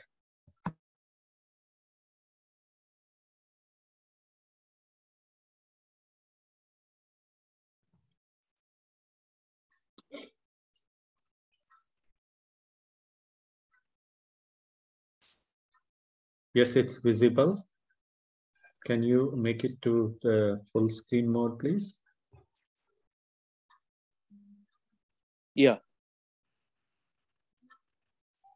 Okay, good. Over to you. Thank you. Uh, good morning, everybody. Uh, before beginning my presentation, I would like to thank and express my sincere gratitude to the organizers, especially Dr. Bhomia, for inviting me as a speaker to this marvelous virtual mangrove conference.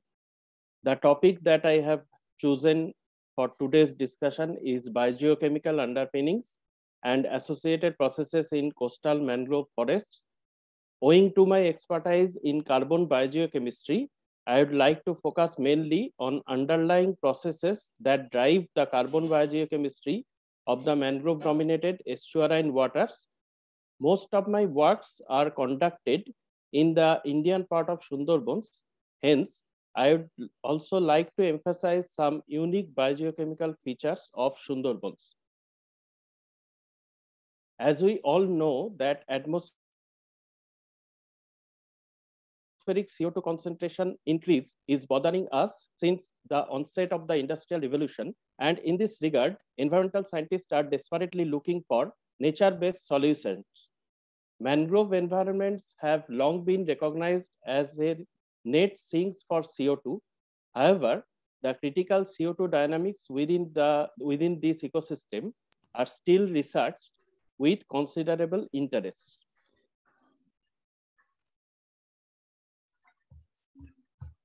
In one of my recent works, we measured PCO2 water, that is partial pressure of carbon dioxide in water with a high temporal resolution automated underwater PCO2 analyzer in the creek and estuarine waters around Dhanchi Islands of Sundarbans.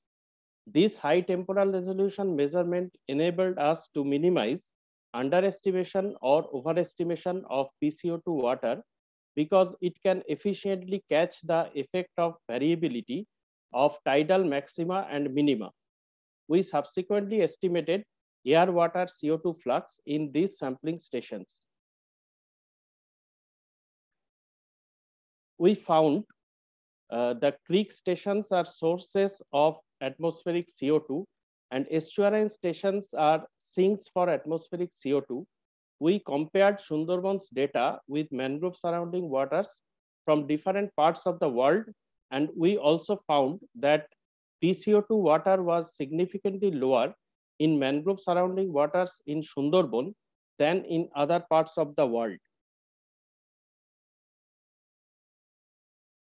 From the time from our time series data, which is the first of its kind in Sundarbans, you can see a distinct tidal trend of PCO2 in the creek stations.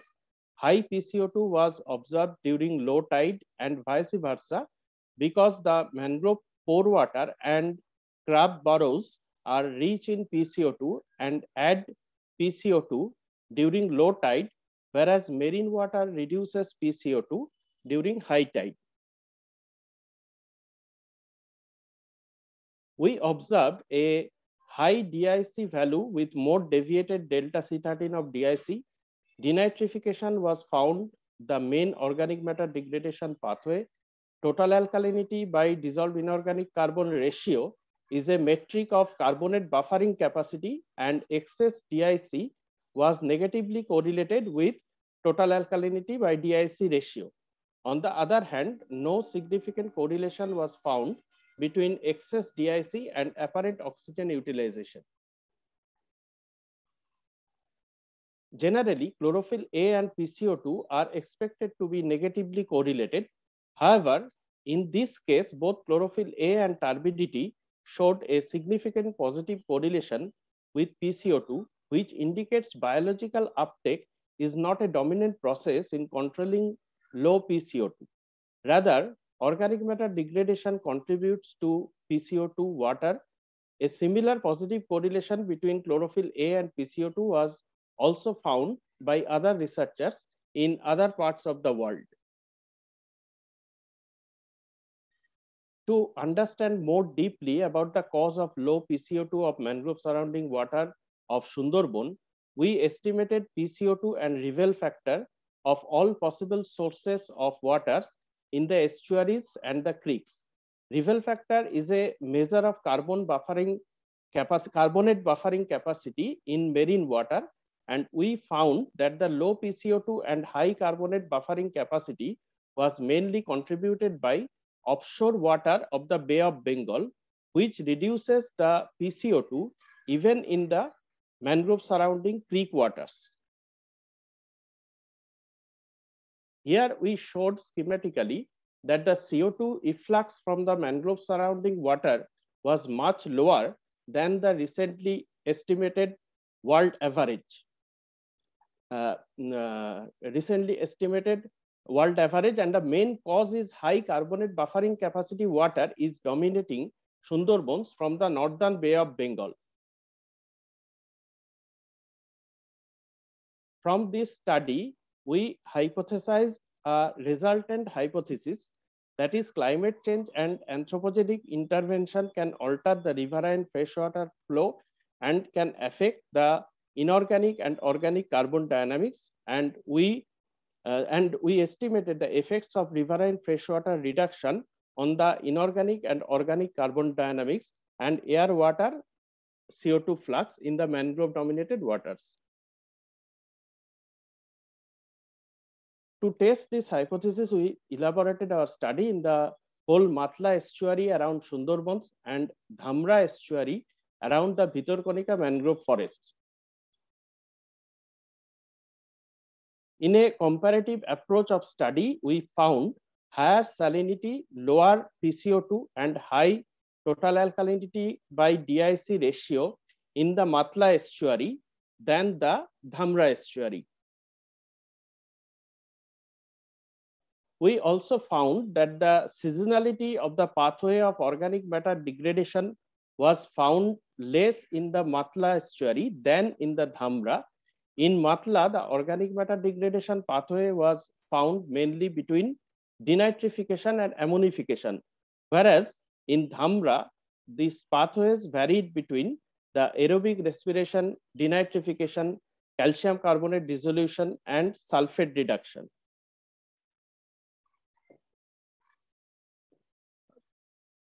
This uh, slide shows the 3 end member mixing model using the stable isotopes. The 3 end member mixing model of organic matter revealed that the relative contribution of mangroves, riverine freshwater, and marine end member to particulate organic matter of water was compar comparable between these two estuaries. However, mangrove derived organic matter, that is blue carbon, contribution is significantly higher in sedimentary organic matter in Matla than that of the Dhamra. This might be because of lesser flushing effect due to lack of riverine freshwater, higher sedimentation rate or higher uh, mangrove coverage area, but it is uh, need to be researched more on to confirm this, uh, the reason. This schematic diagram shows a mangrove dominated estuary with sufficient riverine freshwater supply has low salinity, high PCO2, low buffering capacity, low DIC and total alkalinity, and high particulate organic carbon and dissolved organic carbon.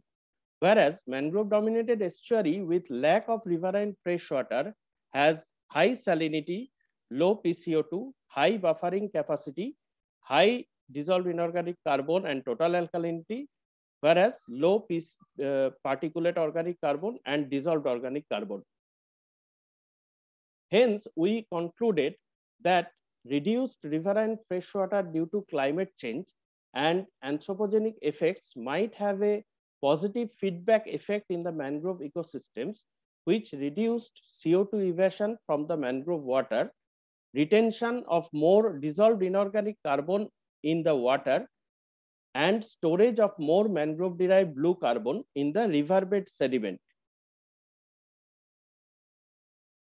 Mangrove environment and biogeochemistry are intertwined with each other. Any changes in the mangrove habitat exhibit a clear manifestation in the biogeochemical dynamics of the surroundings. Mangroves filter out pollutants that are known to us However, due to indiscriminate anthropogenic activities, mangroves themselves have become active depot centers of pollutants, coastal, uh, coastal eutrophication and the role of mangrove land conversion is one of the active areas of research flourishing all, though, all through India as a significant trend of mangrove land conversion to aquaculture is noticed lately. Marine pollution like plastic pollution, heavy metal pollution, persistent organic compound pollution, and, and antibiotic pollution have been and continue to be some of the active fronts of mangrove research in India.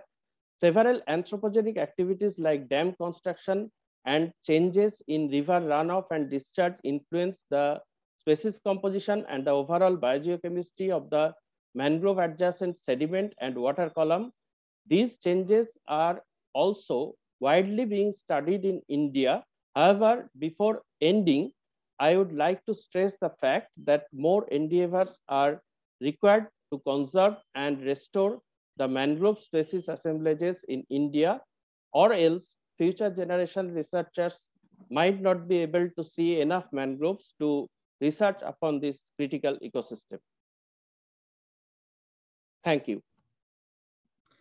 Thank you, Dr. Anirban you actually wrapped up your uh, talk in in shorter duration than allocated. So this gives us an opportunity to touch upon some of the questions uh, that are um, coming up in Q&A box. But I must uh, like to thank you that uh, your present in your presentation, you started off with the the biogeochemical or the chemistry aspect, the carbonate and, and how uh, changing atmospheric carbon dioxide is affecting the marine life and how blue carbon ecosystem. Uh, understanding these processes are important in blue carbon ecosystem.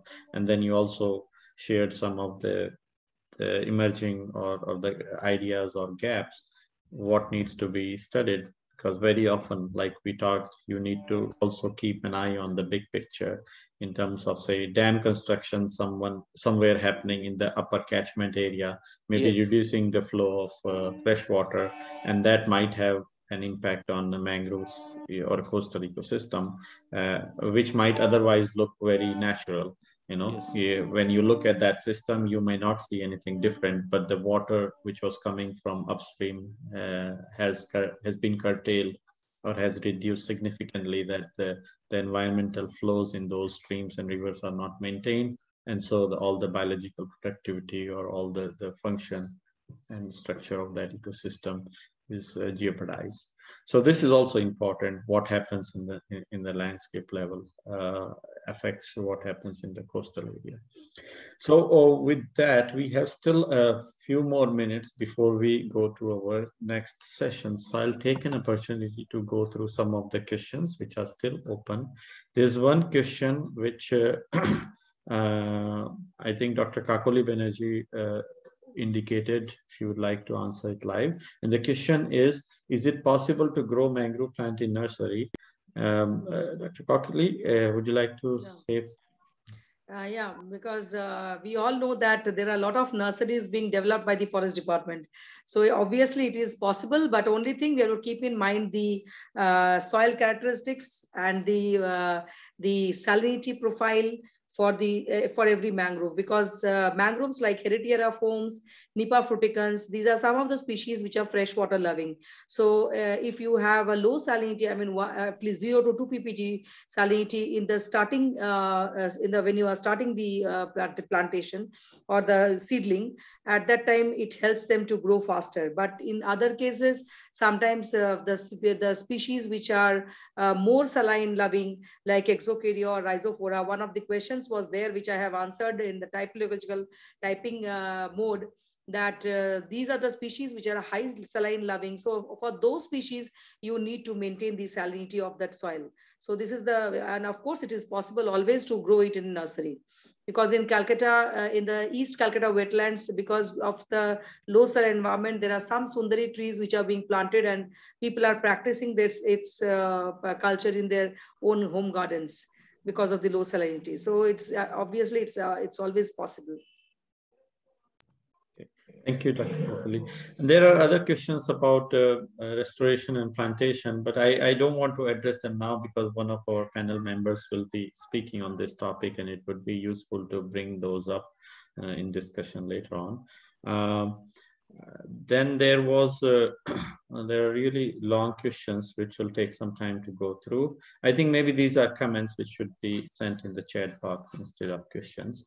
Um, so oh, we while we wait for uh, any other question to come up pertaining to the, the speakers or, or talks today, I do have one question uh, for Dr. Anirban. Yes. Um, what I, I, and I think you, you might have touched upon this, but uh, you know, mangroves play an important role also for the, the corals, you know, the water quality benefits that they, they provide are important in, in uh, for coral sustenance. So to, uh, mm, so it's easy to understand the the role that uh, mangroves trap the sediments, you know, which are coming yes. from upstream and and uh, that provide the water quality benefits. Can you speak a little bit about the the nutrient aspect of it, like you know uh, how they can uh, help in improving the water quality from nutrients perspective?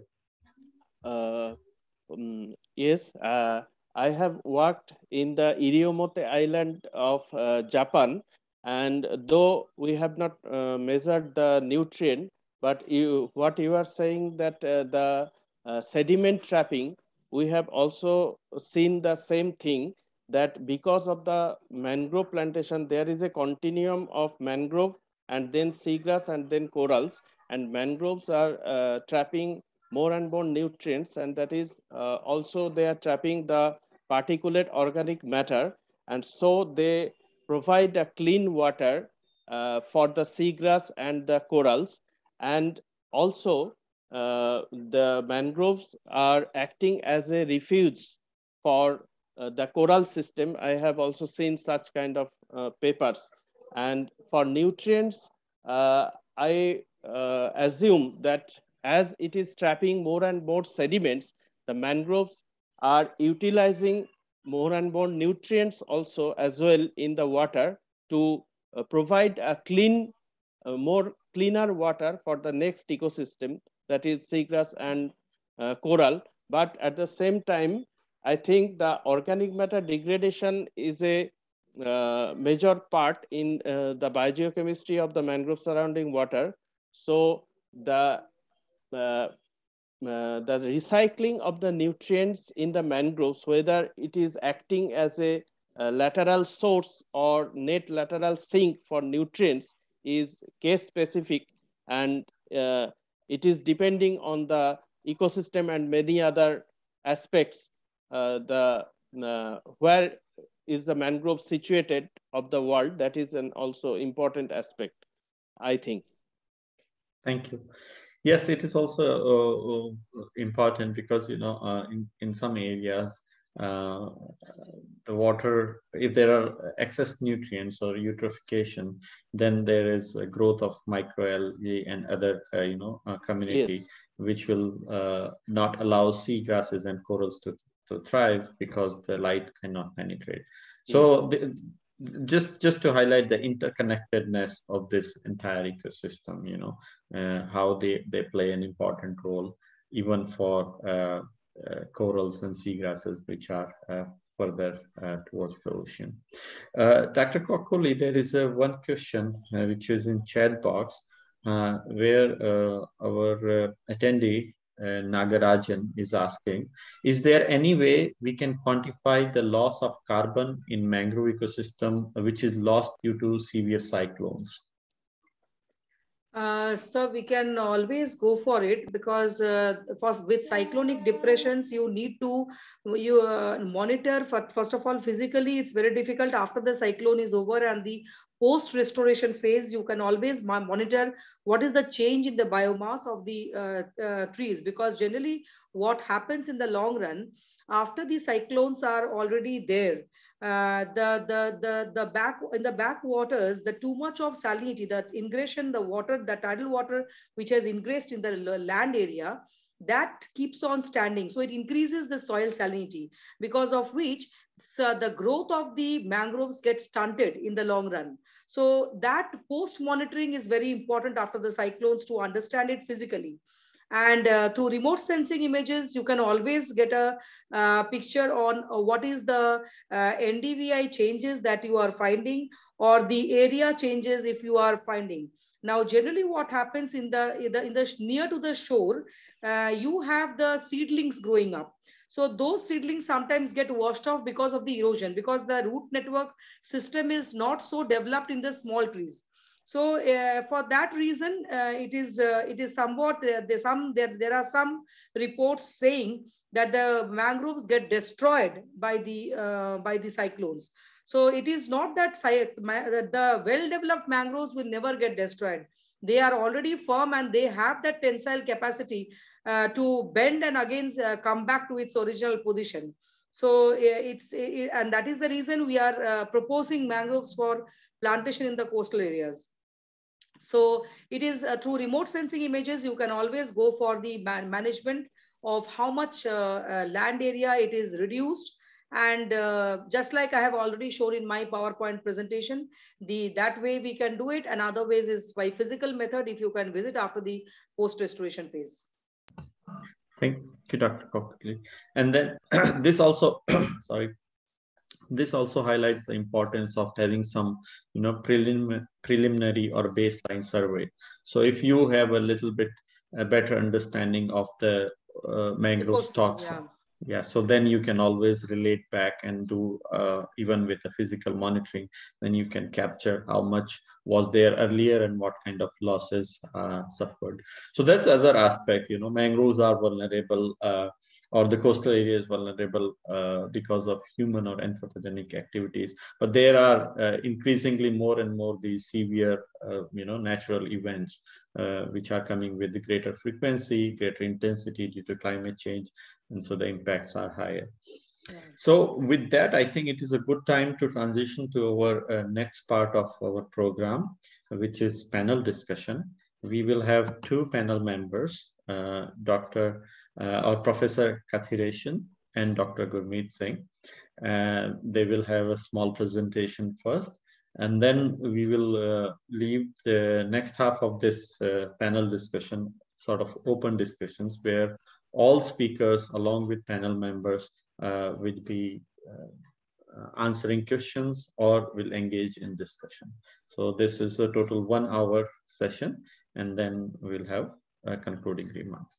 So our first panel member here is uh, Professor Kathiresan. Uh, this is a name which I am sure everyone has heard and known his work. So it he needs no introduction, but I'll uh, say a few words about him. He is an honorary professor in Annamalai University he was former dean and director in Faculty of Marine Sciences in the same university. Dr. Kathiresan is among top 2% mangrove scientists and is ranked first in India for marine biology and hydrobiology. So that's uh, our incredible honor that he has made time to join this uh, conference.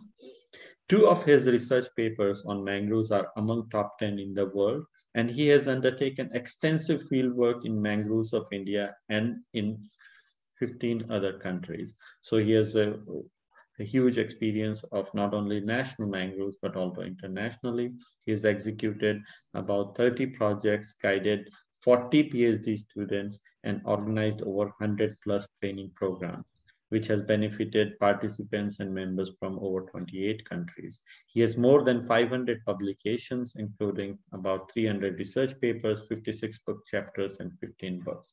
So this just speaks volumes about his experience and his uh, uh, lifelong career as a mangrove researcher and educator.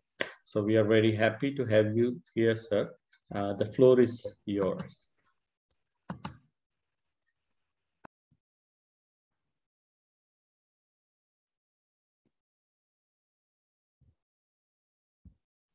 Next slide.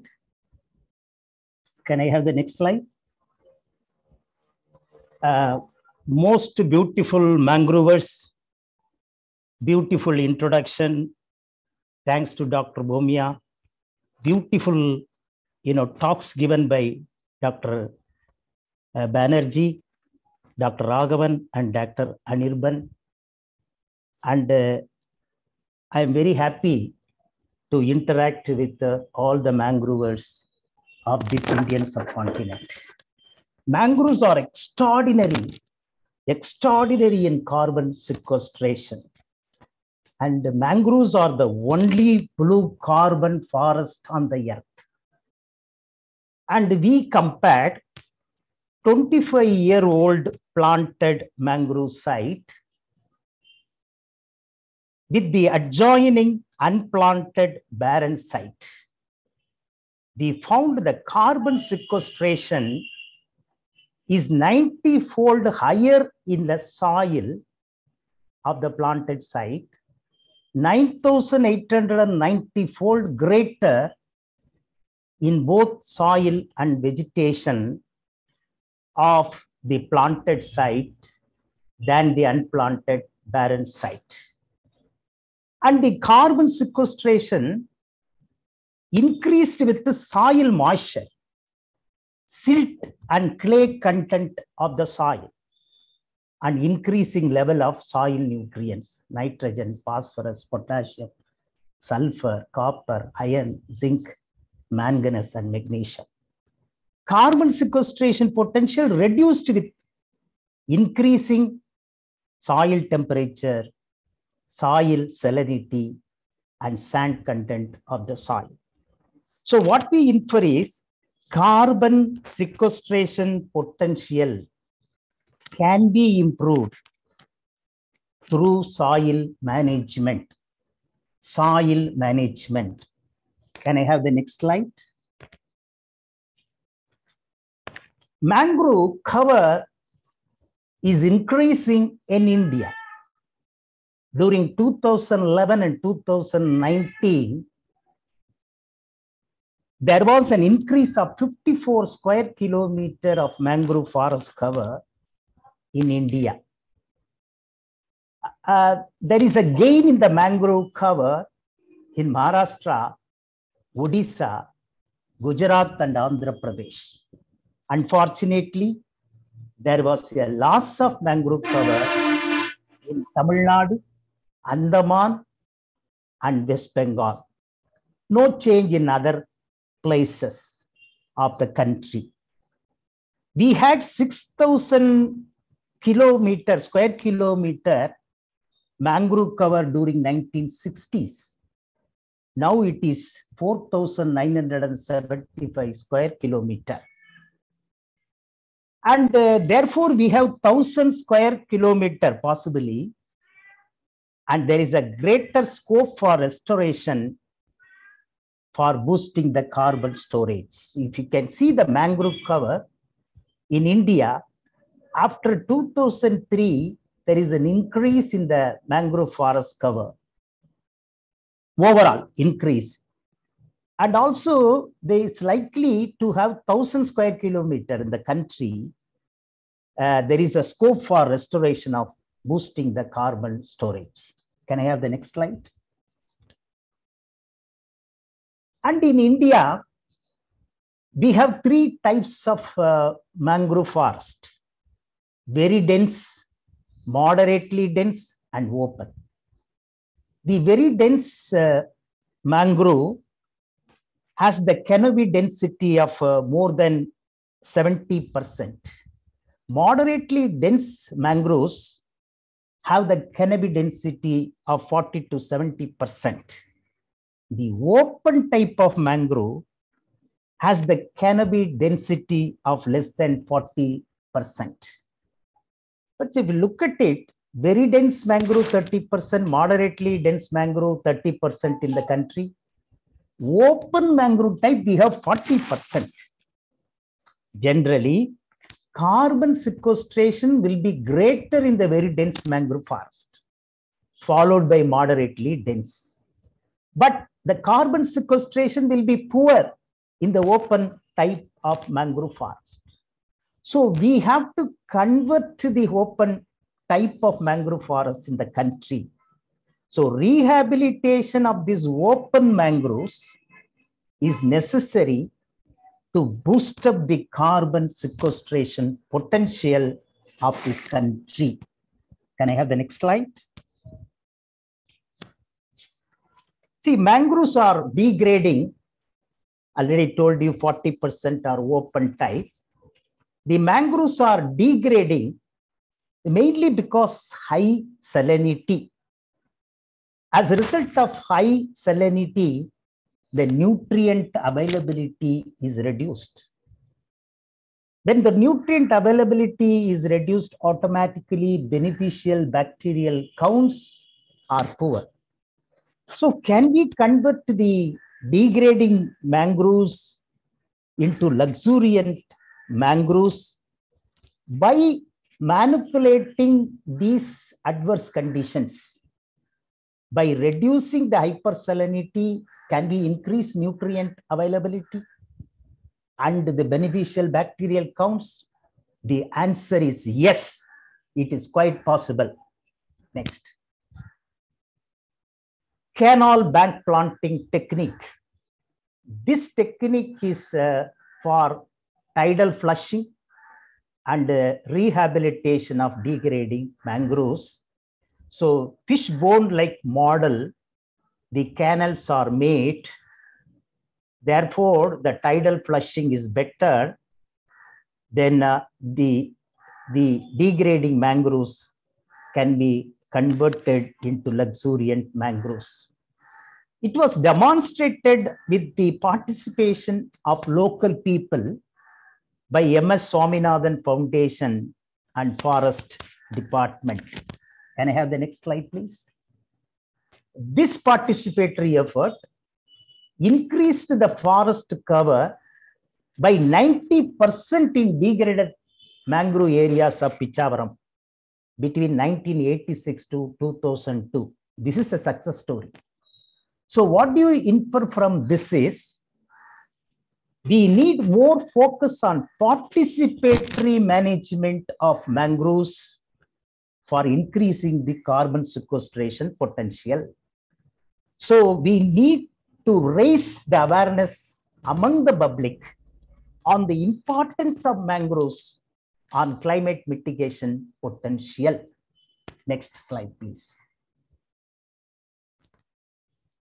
Even though the canal bank planting technique is successful, in some places, say for example, in this is Muthupet area, in particular in, in few areas, the mangroves were growing very luxuriant along this uh, dugout canal.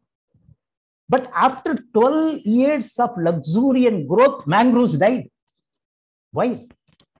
It is due to the siltation of this canal.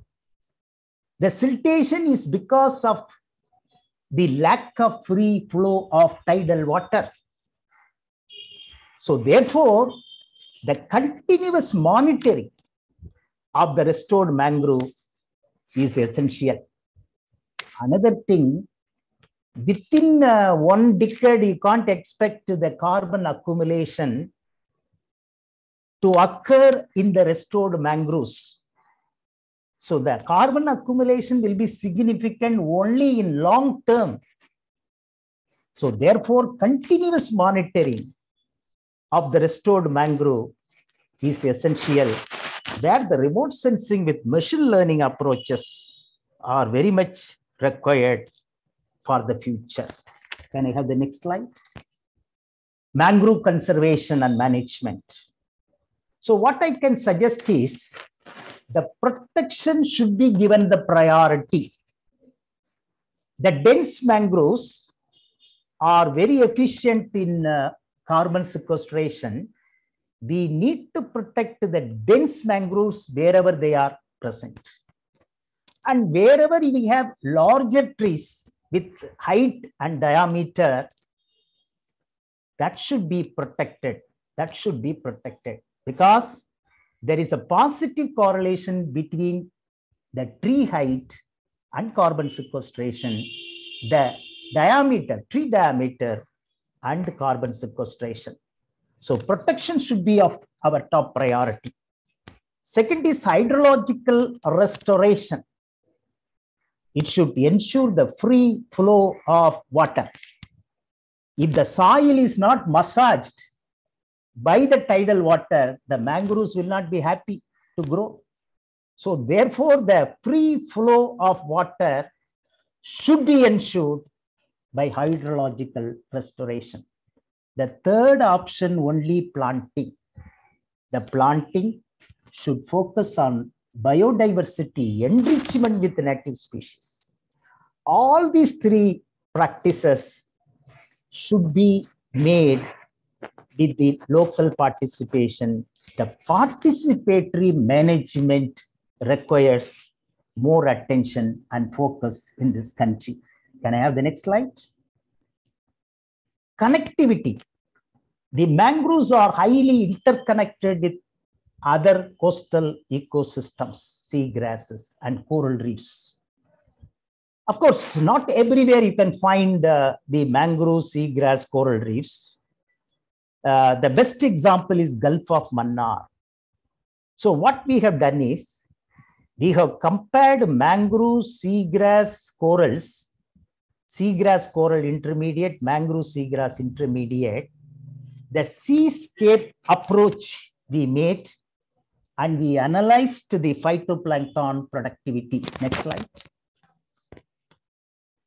As uh, Kakoli rightly pointed out, the phytoplankton productivity is very important when we analyzed the phytoplankton productivity gram carbon per meter square per day, the productivity was the highest in mangroves, lowest, uh, you know, in coral reef, and intermediate in seagrasses.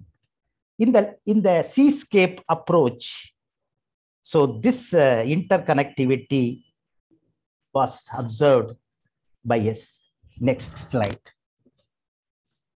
See, what uh, we have done is, and we understood, when the leaves are the litter falling down in the mangroves, they are cut by the crabs, facilitating microbial decomposition. During microbial decomposition, the nutrients are released, especially nitrogen and phosphorus. And nitrogen and phosphorus is essential for phytoplankton productivity. So when nitrogen and phosphorus is released by microbial decomposition, the nitrogen and phosphorus enhances the phytoplankton productivity and facilitating the carbon sequestration. Then these nutrients from mangroves are released into the seagrass and coral reef in the seascape.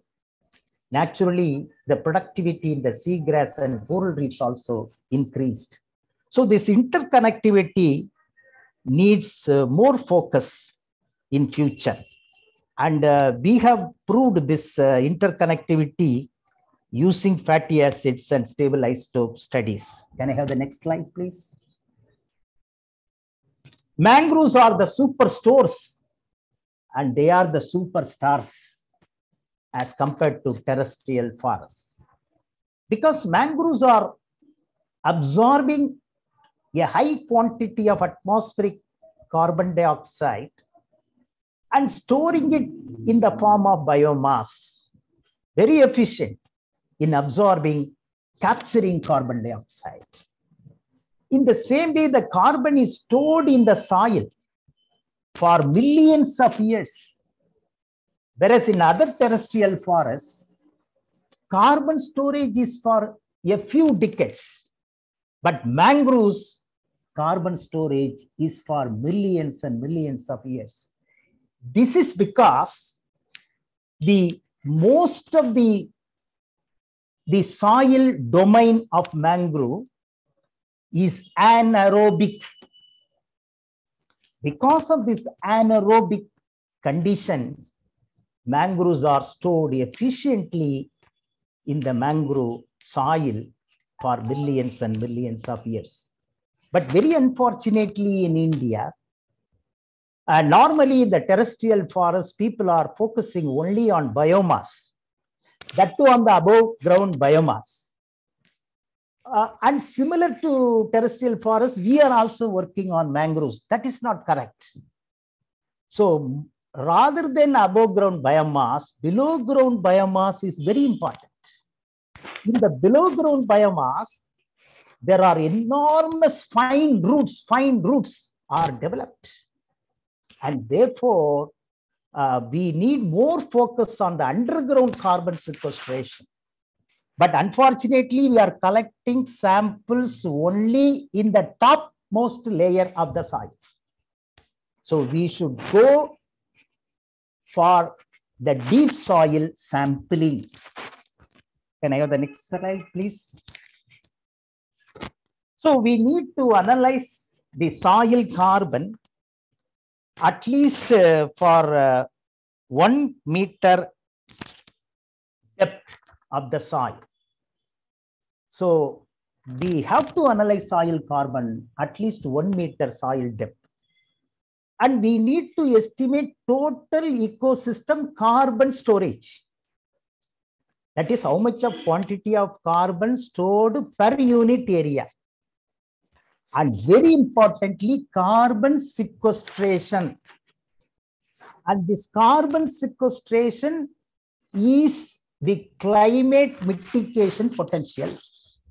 So therefore, the carbon sequestration, the, the estimation is very important. And this is the process of removing atmospheric carbon for storage per area per unit time. So the carbon sequestration refers to climate mitigation potential. So we need to follow uniform methodology. Of course, Kauffman and Donato we are using, but we have to refine this uh, methodology. A uniform methodology should be followed in this country or Indian subcontinent so that the comparison will be easier. We have to improve the measurement of below ground carbon for the fine roots and sediments. So precise uh, measurement methods should be, you know, uh, refined and we need to have some workshops, training to the youngsters who are working on carbon sequestration potential. Next. And uh, as rightly pointed out uh, by Dr. Ragavan, this carbon sequestration varies with the type of mangroves. Tide dominated, river dominated, and interior mangroves, how they are different in carbon sequestration potential. And uh, very dense mangrove forest, moderately dense forest, and open mangrove forest. In addition, lagoon mangroves, island mangroves, estuarine mangroves, delta mangroves, like that, you know, different types of mangroves have to be studied because carbon sequestration potential varies with the, the type of mangroves, type of mangroves. Next slide, please.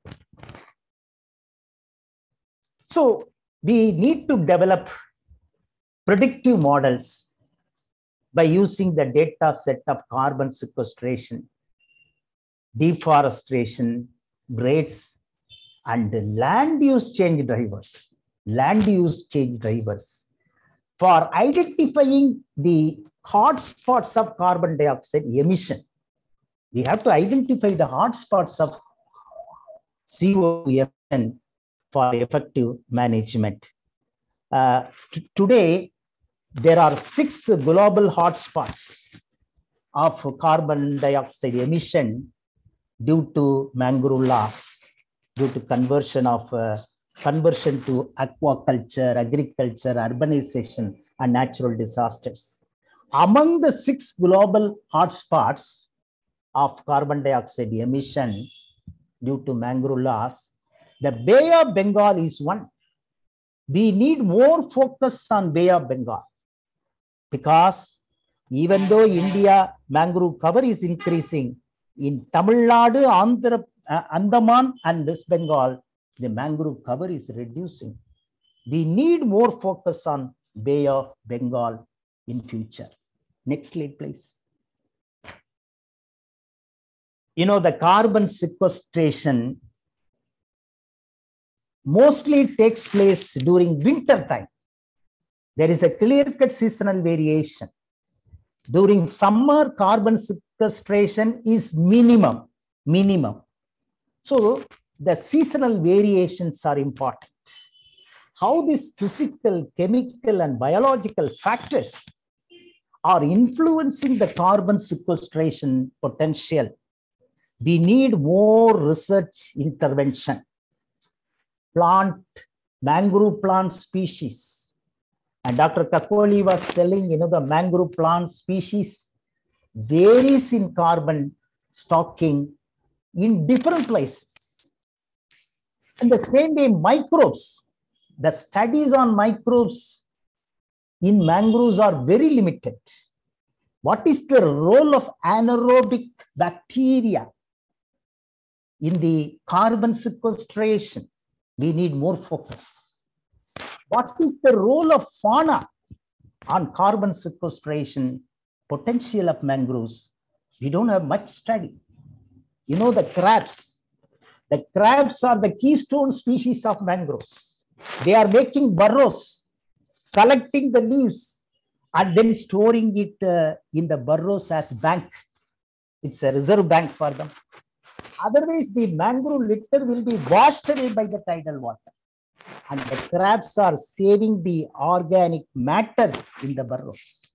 So, role of fauna in the carbon sequestration, we need more focus and studies. Can I have the next slide?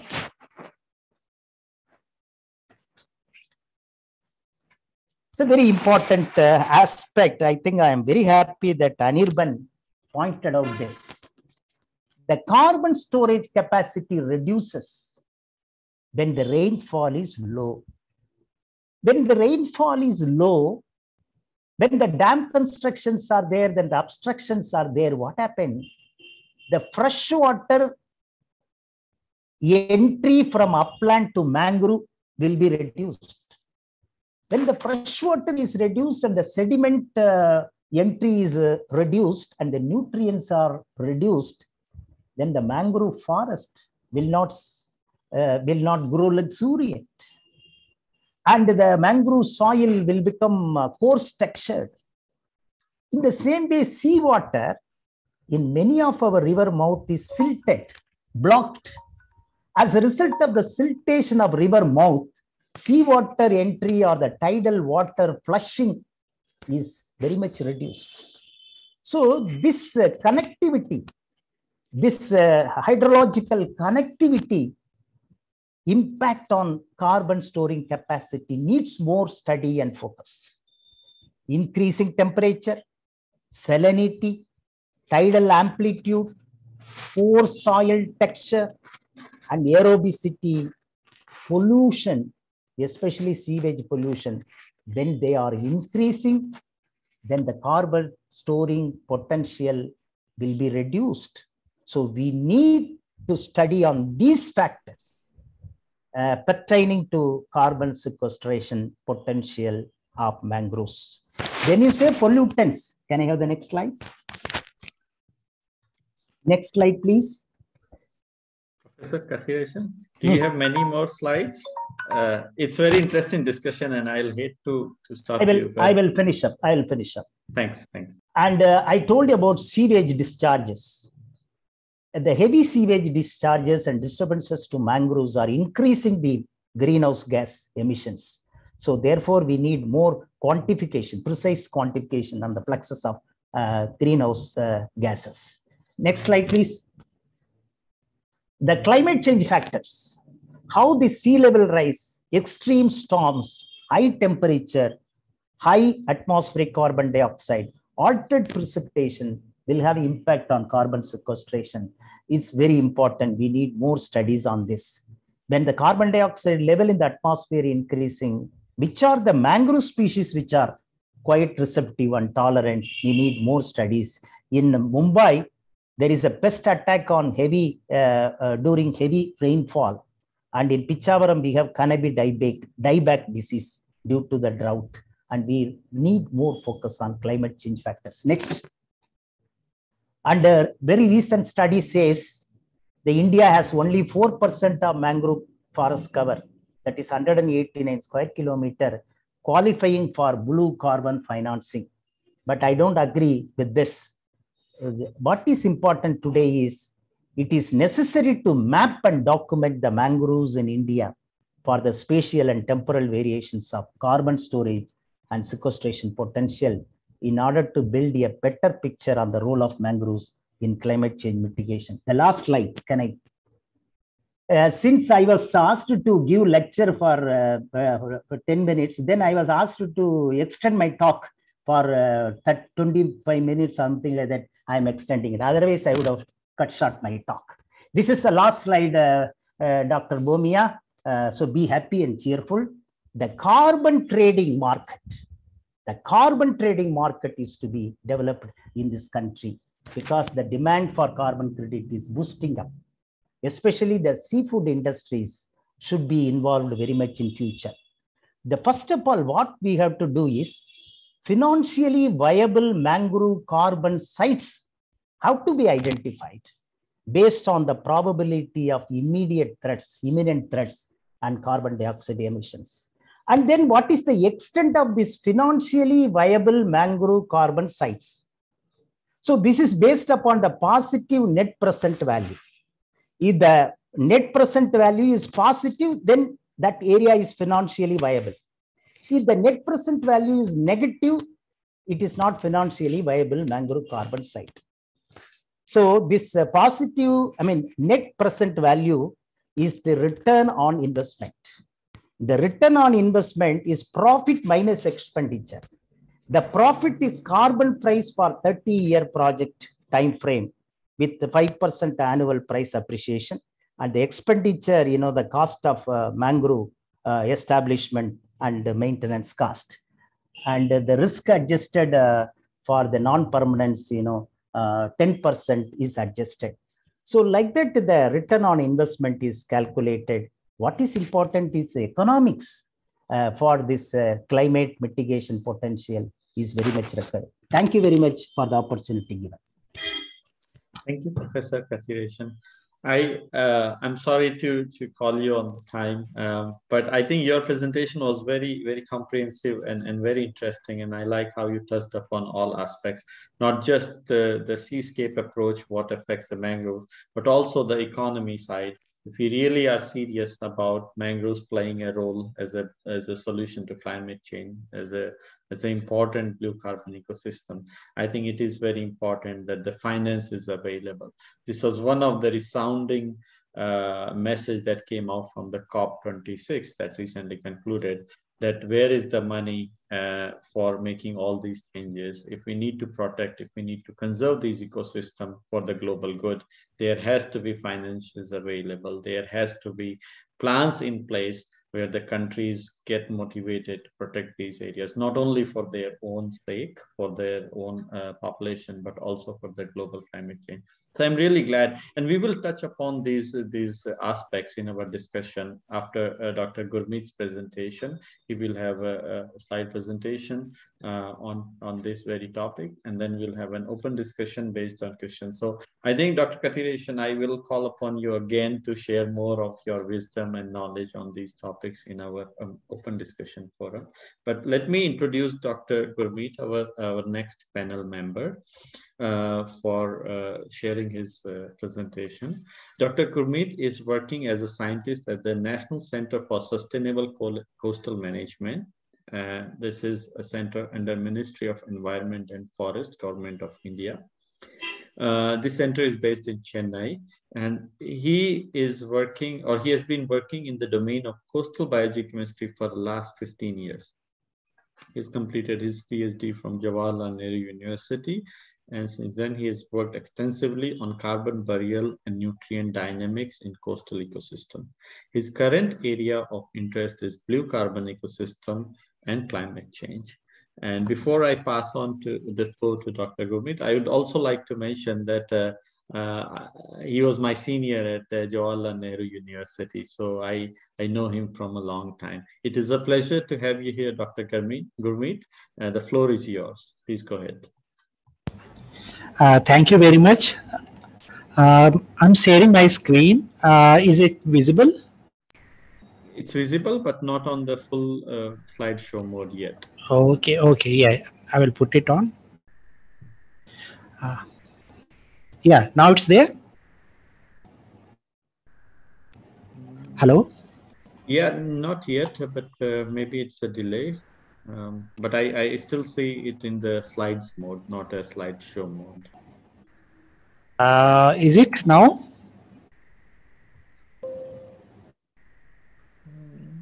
Maybe uh, you need to. Um, I will stop sharing and I will reshare it again. Yeah, yeah, that will work. I think. Great. I'll let you know as as I see. Please yeah, just a minute. Yeah, uh, thank you very much, Rupesh. Uh, it has been long that uh, we have met. Um, uh, now coming to my presentation, um, I will uh, address to several of the questions what uh, Dr. Kathiresan has raised um, he has uh, raised several of the valid question, uh, really valid question. For example, I will just give you an example. Uh, I was uh, uh, I was listening to the presentation which happened uh, since morning, and in Indian perspective, there was quite a difference in the total mangrove area cover. One study said that it is a 4,900, another was something 6000 and uh, one uh, study uh, one uh, presenter mentioned that it's um, 5900 so uh, it's the the it's quite different. So there is there it was when i'm representing the um, government of india and ministry. So when we started the work the biggest challenge was that how to harmonize the things so uh, uh, whatever the results we present here was our communication to NATCOM uh, that uh, through this uh, uh, publication volume which is available on the internet and anyone can access it. If someone wants a copy, I will be happy to share it. So these these slides I will just skip because already it has been discussed a lot and these are just general um, and we all know that carbon dioxide is uh, increasing uh, rapidly and we it has to be addressed. And the uh, blue carbon ecosystem, they play a vital role in global carbon sequestration. And with long-term storage, they act as a potential carbon sinks. So um, uh, this is a figure from McLeod which clearly depict how the coastal vegetative ecosystems can sequester more carbon. This already uh, Dr. Ragavan has explained in detail. So I will just go to um, uh, the uh, slide where we, so we started with uh, the pan-India perspective. So when the government of India has implemented coastal zone regulation notification, uh, 2011 the problem was first problem came with the area um, uh, that what is the exact area of indian mangroves or SEGRA system or any blue carbon system or any eco-sensitive uh, eco uh, areas so in crz notification these were classified in the zone 1 which needs uh, to be conserved and protected and there should be no human interference and there no developmental activity has to be there. So there were nine A to K nine systems were defined like mangrove forest, uh, sand dunes, mud flats, uh, national parks, marsh, turtle nesting sites, horsehook habitat, seagrass, um, bird nesting site, and um, um, uh, and um, uh, this uh, turtle nesting sites, etc. So these uh, the when 2000 notification, uh, 2000 CRZ 2011 notification came.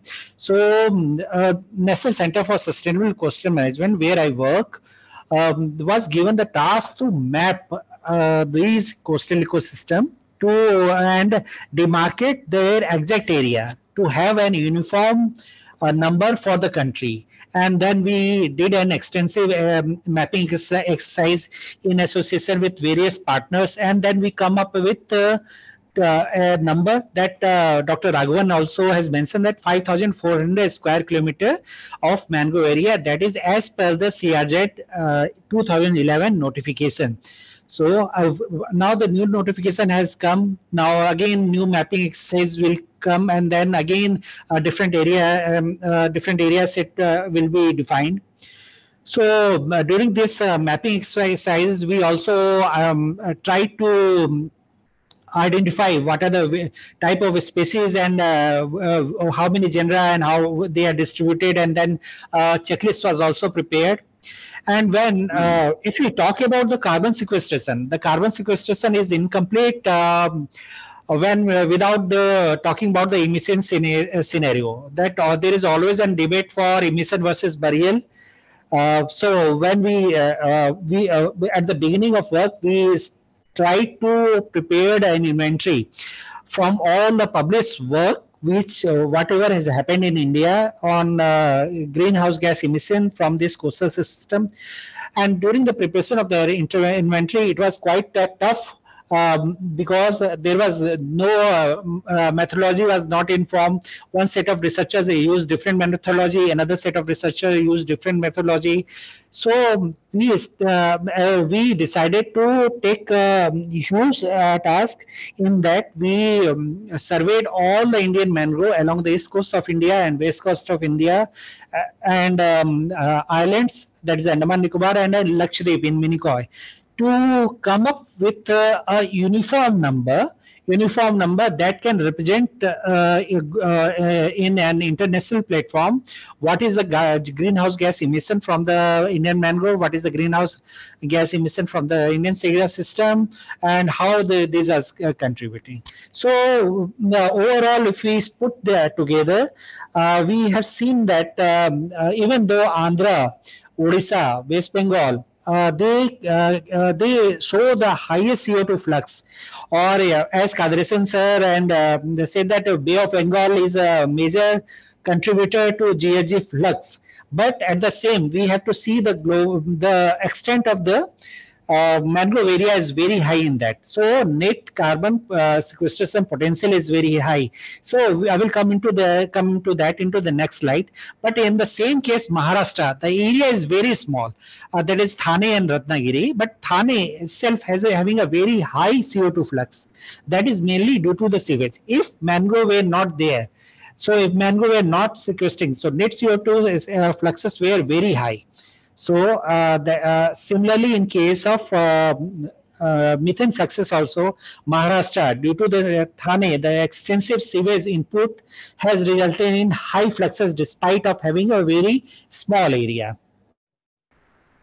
So um, the carbon uptake, we also, the, the uh, important thing is that how much the carbon is taking uh, um, being uptake by the plant that is a photosynthetic rate. So we, with a leaf area index and then NDVI, we also try to calculate and compute the net carbon uptake in the different uh, mangroves uh, uh, that and the mangrove for west coast somewhere it will varying between the uh, 3.2 megagram carbon per hectare to 35.44 megagram per hectare and highest carbon uptake that were observed from uh, Sundarban. That is a Heritiera, Excoecaria and Avicennia community showed the highest carbon uptake rate. And in case of uh, West Coast, the uptake rate were comparatively lesser. But they still, uh, they were the highest uptake rate was uh, approximately 27 megagram carbon per hectare per year. Or carbon uptake rate was observed in the K in West Coast. So when we talk about the burial, several researchers has uh, taken uh, above ground biomass.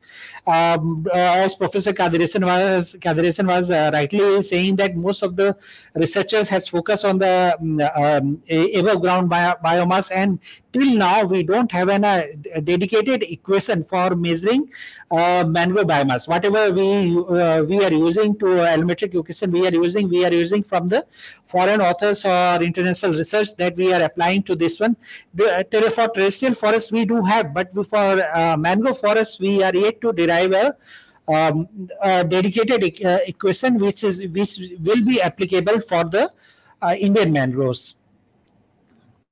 So um, uh, again, then uh, uh, during the course of our study, we also try to calculate uh, or compute the net carbon stock in the sediments. Uh, that if we take uh, one one meter of the soil, then how much of the carbon is stored um, for in longer period of time? As uh, Professor Kathiresan was rightly saying that due to the anaerobic or anoxic environment in the mangrove, these carbons are stored uh, for a long, very long period of time because their escape rate or their rate of degradation is lower. But here one uh, thing that I want to bring to your notice that which has to be focused in case of um, uh, carbon sequestration research that most of the researcher they do focus or they when while measuring the carbon sequestration rate or carbon sequestration potential they take sediment organic carbon as a. But sediment organic carbon uh, when measure it takes the mineralizable and then uh, um, calcitrant and then which non-mineralizable carbon all type of carbon it will uh, oxidize and it will give you the uh, carbon contained in percentage but that is in the case not the case. What is mineralizable carbon that will be immediately released due to the uh, due to various microbiological or um, chemical activity and a part will go only go for the sequestration. So, mm, uh, so again, uh, that uh, uh we mm, uh, we try to, or we are in process of from these sediments, we are in process of uh, partitioning uh, sediment organic carbon into various components and to arrive at that exact uh, the nature of the carbon which actually goes at the burial for the longer period of time.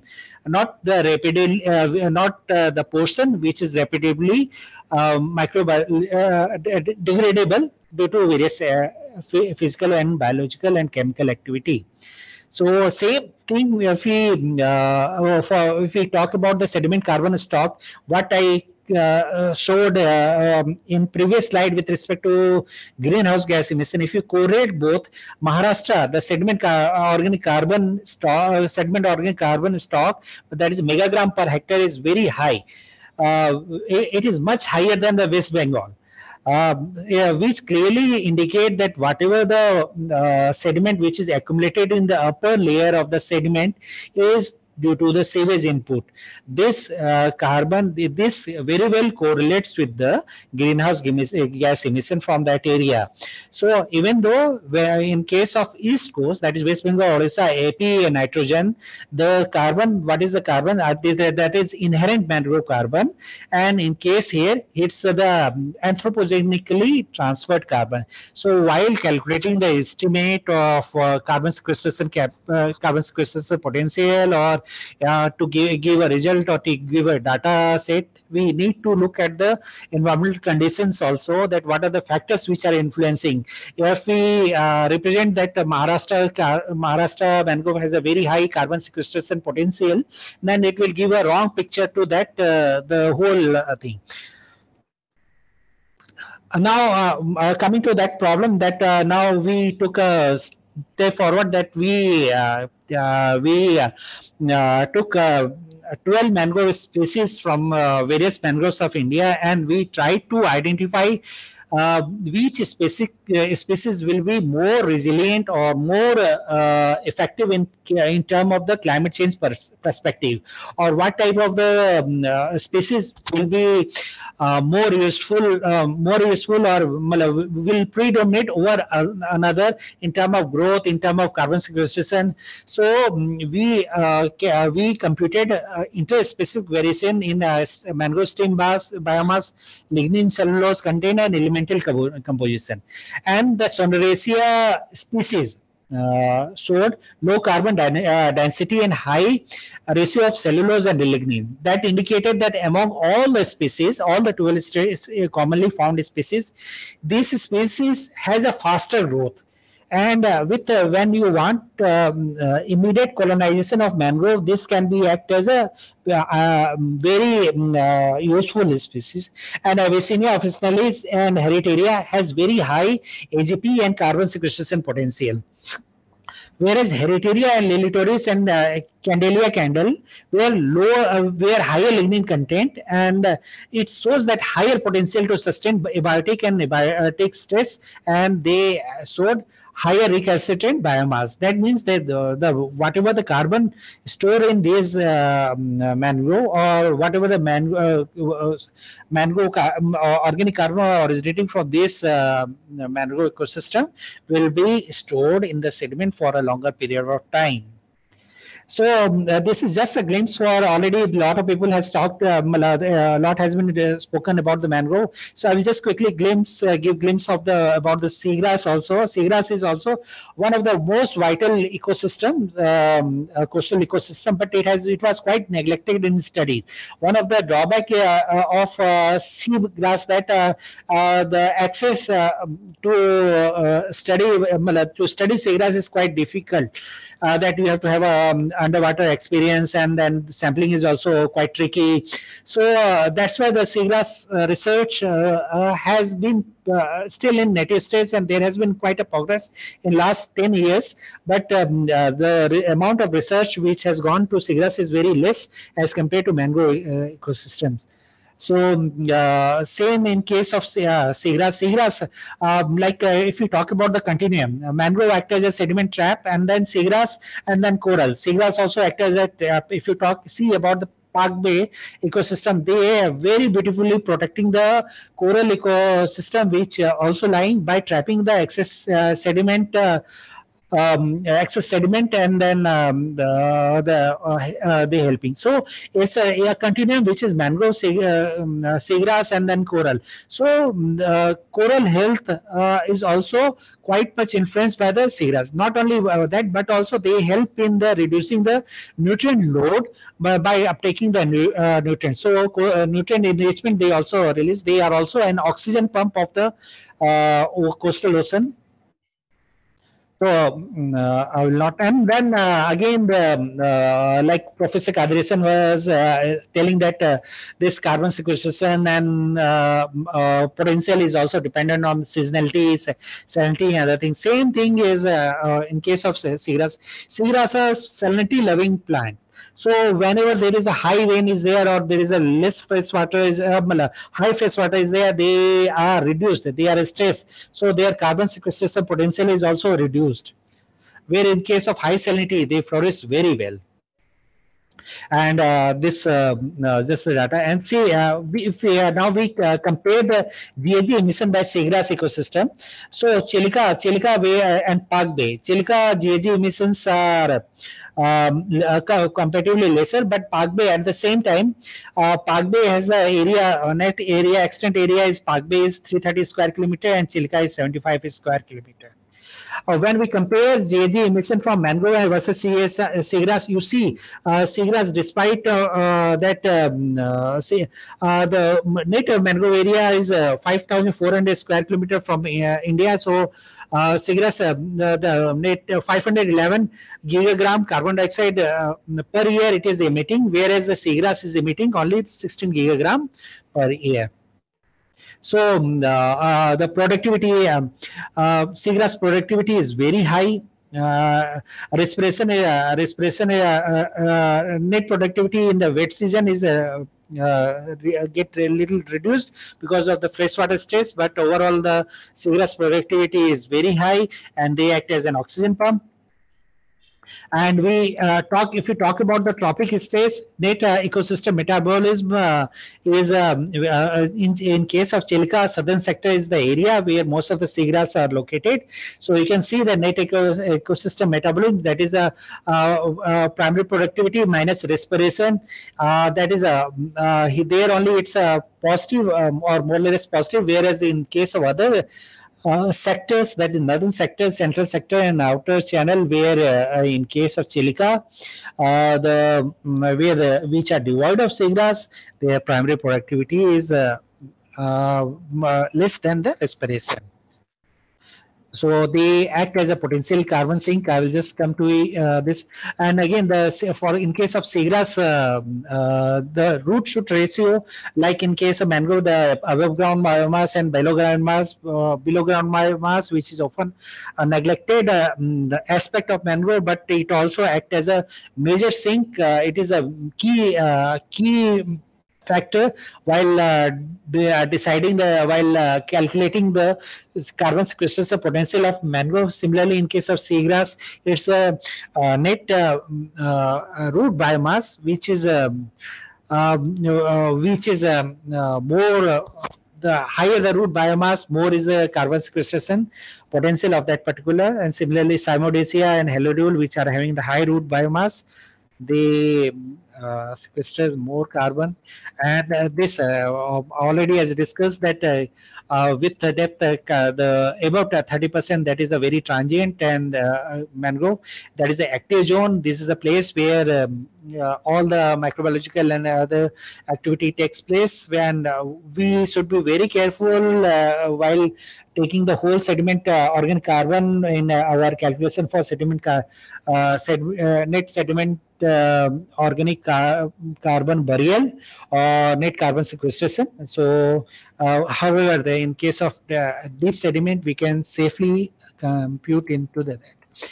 Now, if we talk about the whole, um, uh, if we talk about the carbon sequestration budget in uh, Chilika, that is a lagoon in Odisha uh, that we calculated in that, that um, uh, net respiration is 0.08 teragram carbon, whereas the burial is 0.06, uh, net burial is 0.06 uh, teragram carbon. And uh, in sediment overall uh, the storage is 0.76 teragram of carbon and uh, similarly we also computed for the uh, carbon budget in Palk Bay and we calculated for whole India how um, the uh, net carbon sequestration uh, will be uh, with uh, uh, with in uh, with per hectare in seagrass ecosystem. So net primary production rate varies from 2.3 to 4.3.35 megagram carbon per hectare per year, whereas sediment some sediment stores almost 100 to 150 megagram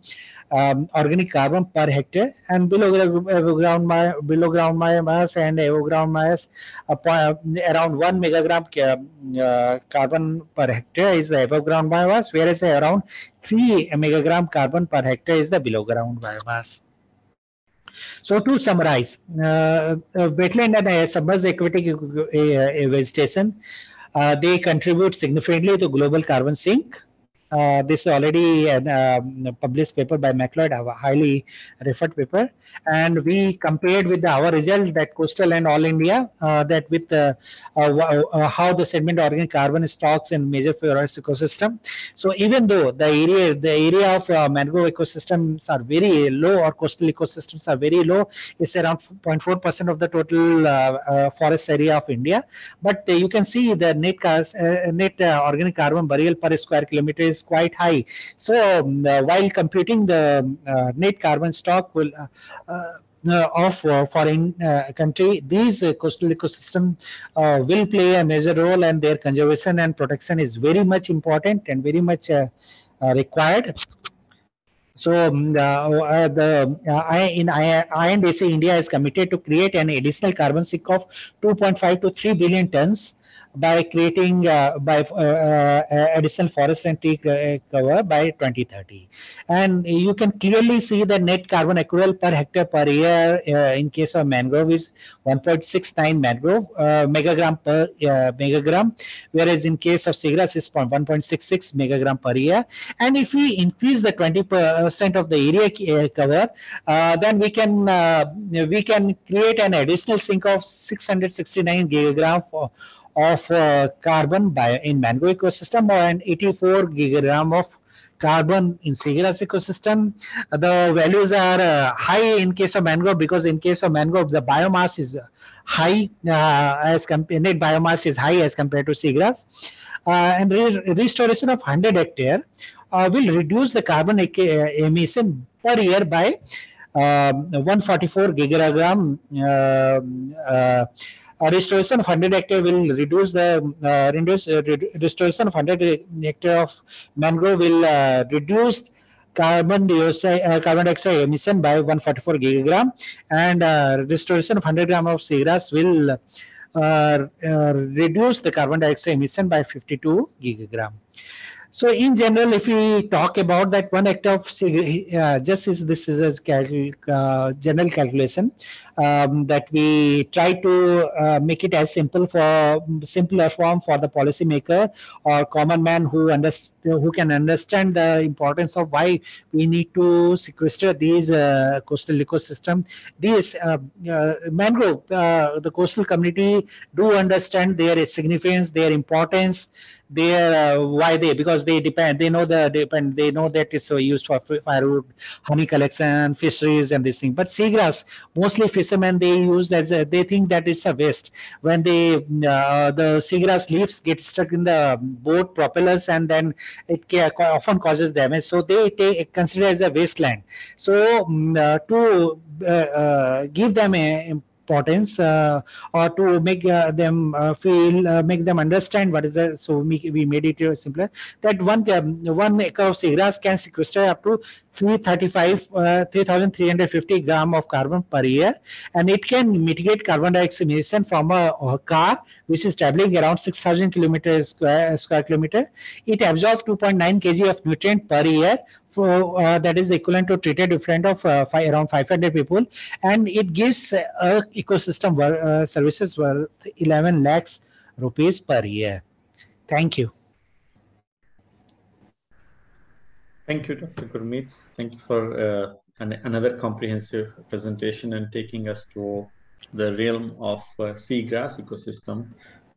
Under this blue carbon ecosystem, we have spoke in detail about mangroves. So thank you for uh, bringing um, seagrass into the discussion. I think it is very clear the important importance of uh, mapping and documenting the, the area under these ecosystem because if we don't know what is present where, it is difficult.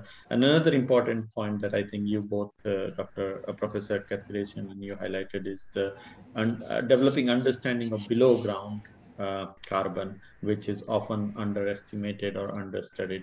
So uh, with that, I would, we have little bit uh, crunch of time now. Initially, I was thinking we'll have extra time, so I asked our panel members to expand their uh, presentation.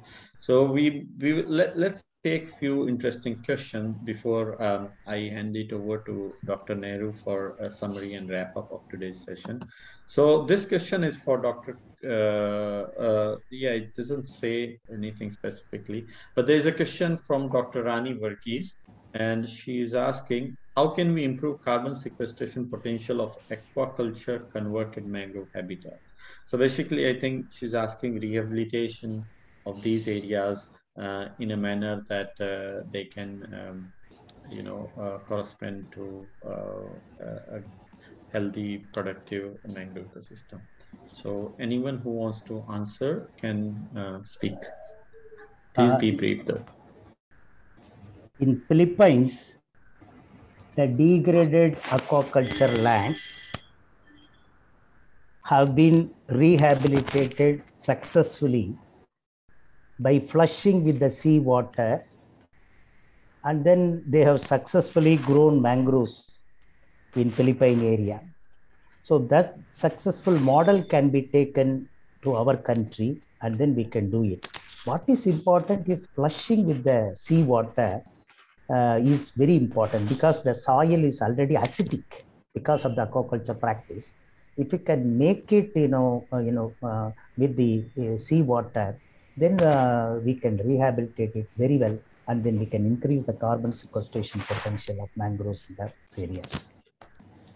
So following up on, uh, there's another question about, uh, I think you showed one interesting slide with those, you know, fishbone-like canal structure. There's a question, is this pattern created by hand digging or does it require uh, specialized machinery? Can you It's only hand digging, only hand digging. People are, local people are involved in uh, digging the soil so that they can get the livelihood, you know, employment opportunity and participatory, uh, you know, opportunity. And I think we will have one of the uh, uh, speaker or panel member tomorrow from MSSRF to maybe uh, discuss a little bit more about this. Because I recall this was uh, in conjunction with MSSRF, isn't it, Professor Kathiresan? Yes, yes. Yeah, yeah. So uh, stay tuned for tomorrow's program for a little more detail on that one. And then there was uh, another question uh, that again for you, uh, Professor Kathiresan.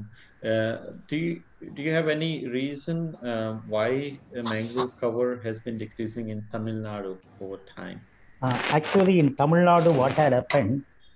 we have a 45 square kilometer area, and due to Gaja, Gaja cyclone, you know what happened? The green cover reduced but now the natural regeneration is taking place. Even in Amphan, you know, Amphan cyclone in West Bengal, Sundarban, there was a devastating effect, but still the coppicing takes place in mangroves. Because the restoration and the regeneration, natural regeneration, uh, the coppicing ability is very high with the mangroves. After some time, it gets uh, regenerated. The leafing is taking place and things like that. We have to wait for some time, you know for the recovery. But it is very quick recovery. Every year, you know, in Gujarat, we used to get, uh, you know, defoliation and something like that due to cyclone, you know. You know, afterwards, you know, you would get uh, the leafy very quickly. So it, it depends. It depends upon the condition and the severity of the stress. Okay. Thank you. And then one last question, if uh, anyone uh, has a response to that. There's a question about uh, um, monitoring uh, and evaluation for mangrove conservation in India by fishery or forestry law and regulations. So I, I believe there are uh, these uh, uh, you know regulations in place. Forest Department or the mangrove divisions have their own working plans and and, and their process. Um, they may not be as efficient, but there are there as far as I know. But if someone has any more um, insights into this process, you would like to add briefly in a minute or two.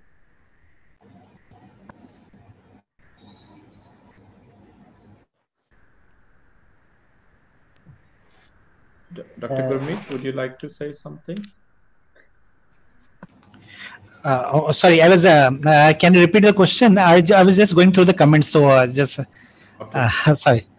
Something about monitoring and evaluation uh, from okay. sort of a law and regulation perspective. So the government's role in. I know you touched upon. No, yes, yeah, monitoring and evaluation. Um, in case of like um, fishery and forestry law, but uh, uh, uh, these coastal ecosystems are governed under a coastal regulation Uh, zone um, uh, that is uh, 2000. Earlier it was 2011. Now it's 2019. They are monitoring and evolution is entirely governed within that, and that not only if you talk about the not only the fiscal governance, the fiscal governance, but that means the conservation, protection, and restoration, as well as the economic also, right? Um, like ecosystem evolution, also that how much what is the monetary value associated with this all ecosystem this entire thing is governed by this uh, coastal regulation zone um, crz notification 2019 and 2011 so. India we have a promotory approach of management for mangroves. We have identified 38 uh, mangrove areas all along the coastal area. In all the 38 mangrove areas management action plan you know is being implemented. Continuous monitoring is being done. Evaluation is also done on the management practices by Government of India. Thank you, Dr. Kathiresh. So I think uh, uh, this is about time uh, we should uh, uh, go to the summary and conclusion for today's very insightful, very productive and rewarding discussion. Uh, I would have wished a little more time for discussion, but the, the, the, conference has just begun. today's first day. Tomorrow we will delve deeper into other aspects of mangrove, uh, seascape, coastal uh, environment, and have more discussion. But uh, to wrap our today's deliberations, we have Dr. Nehru, who is a DBT inspired faculty at uh, Wildlife Institute of India.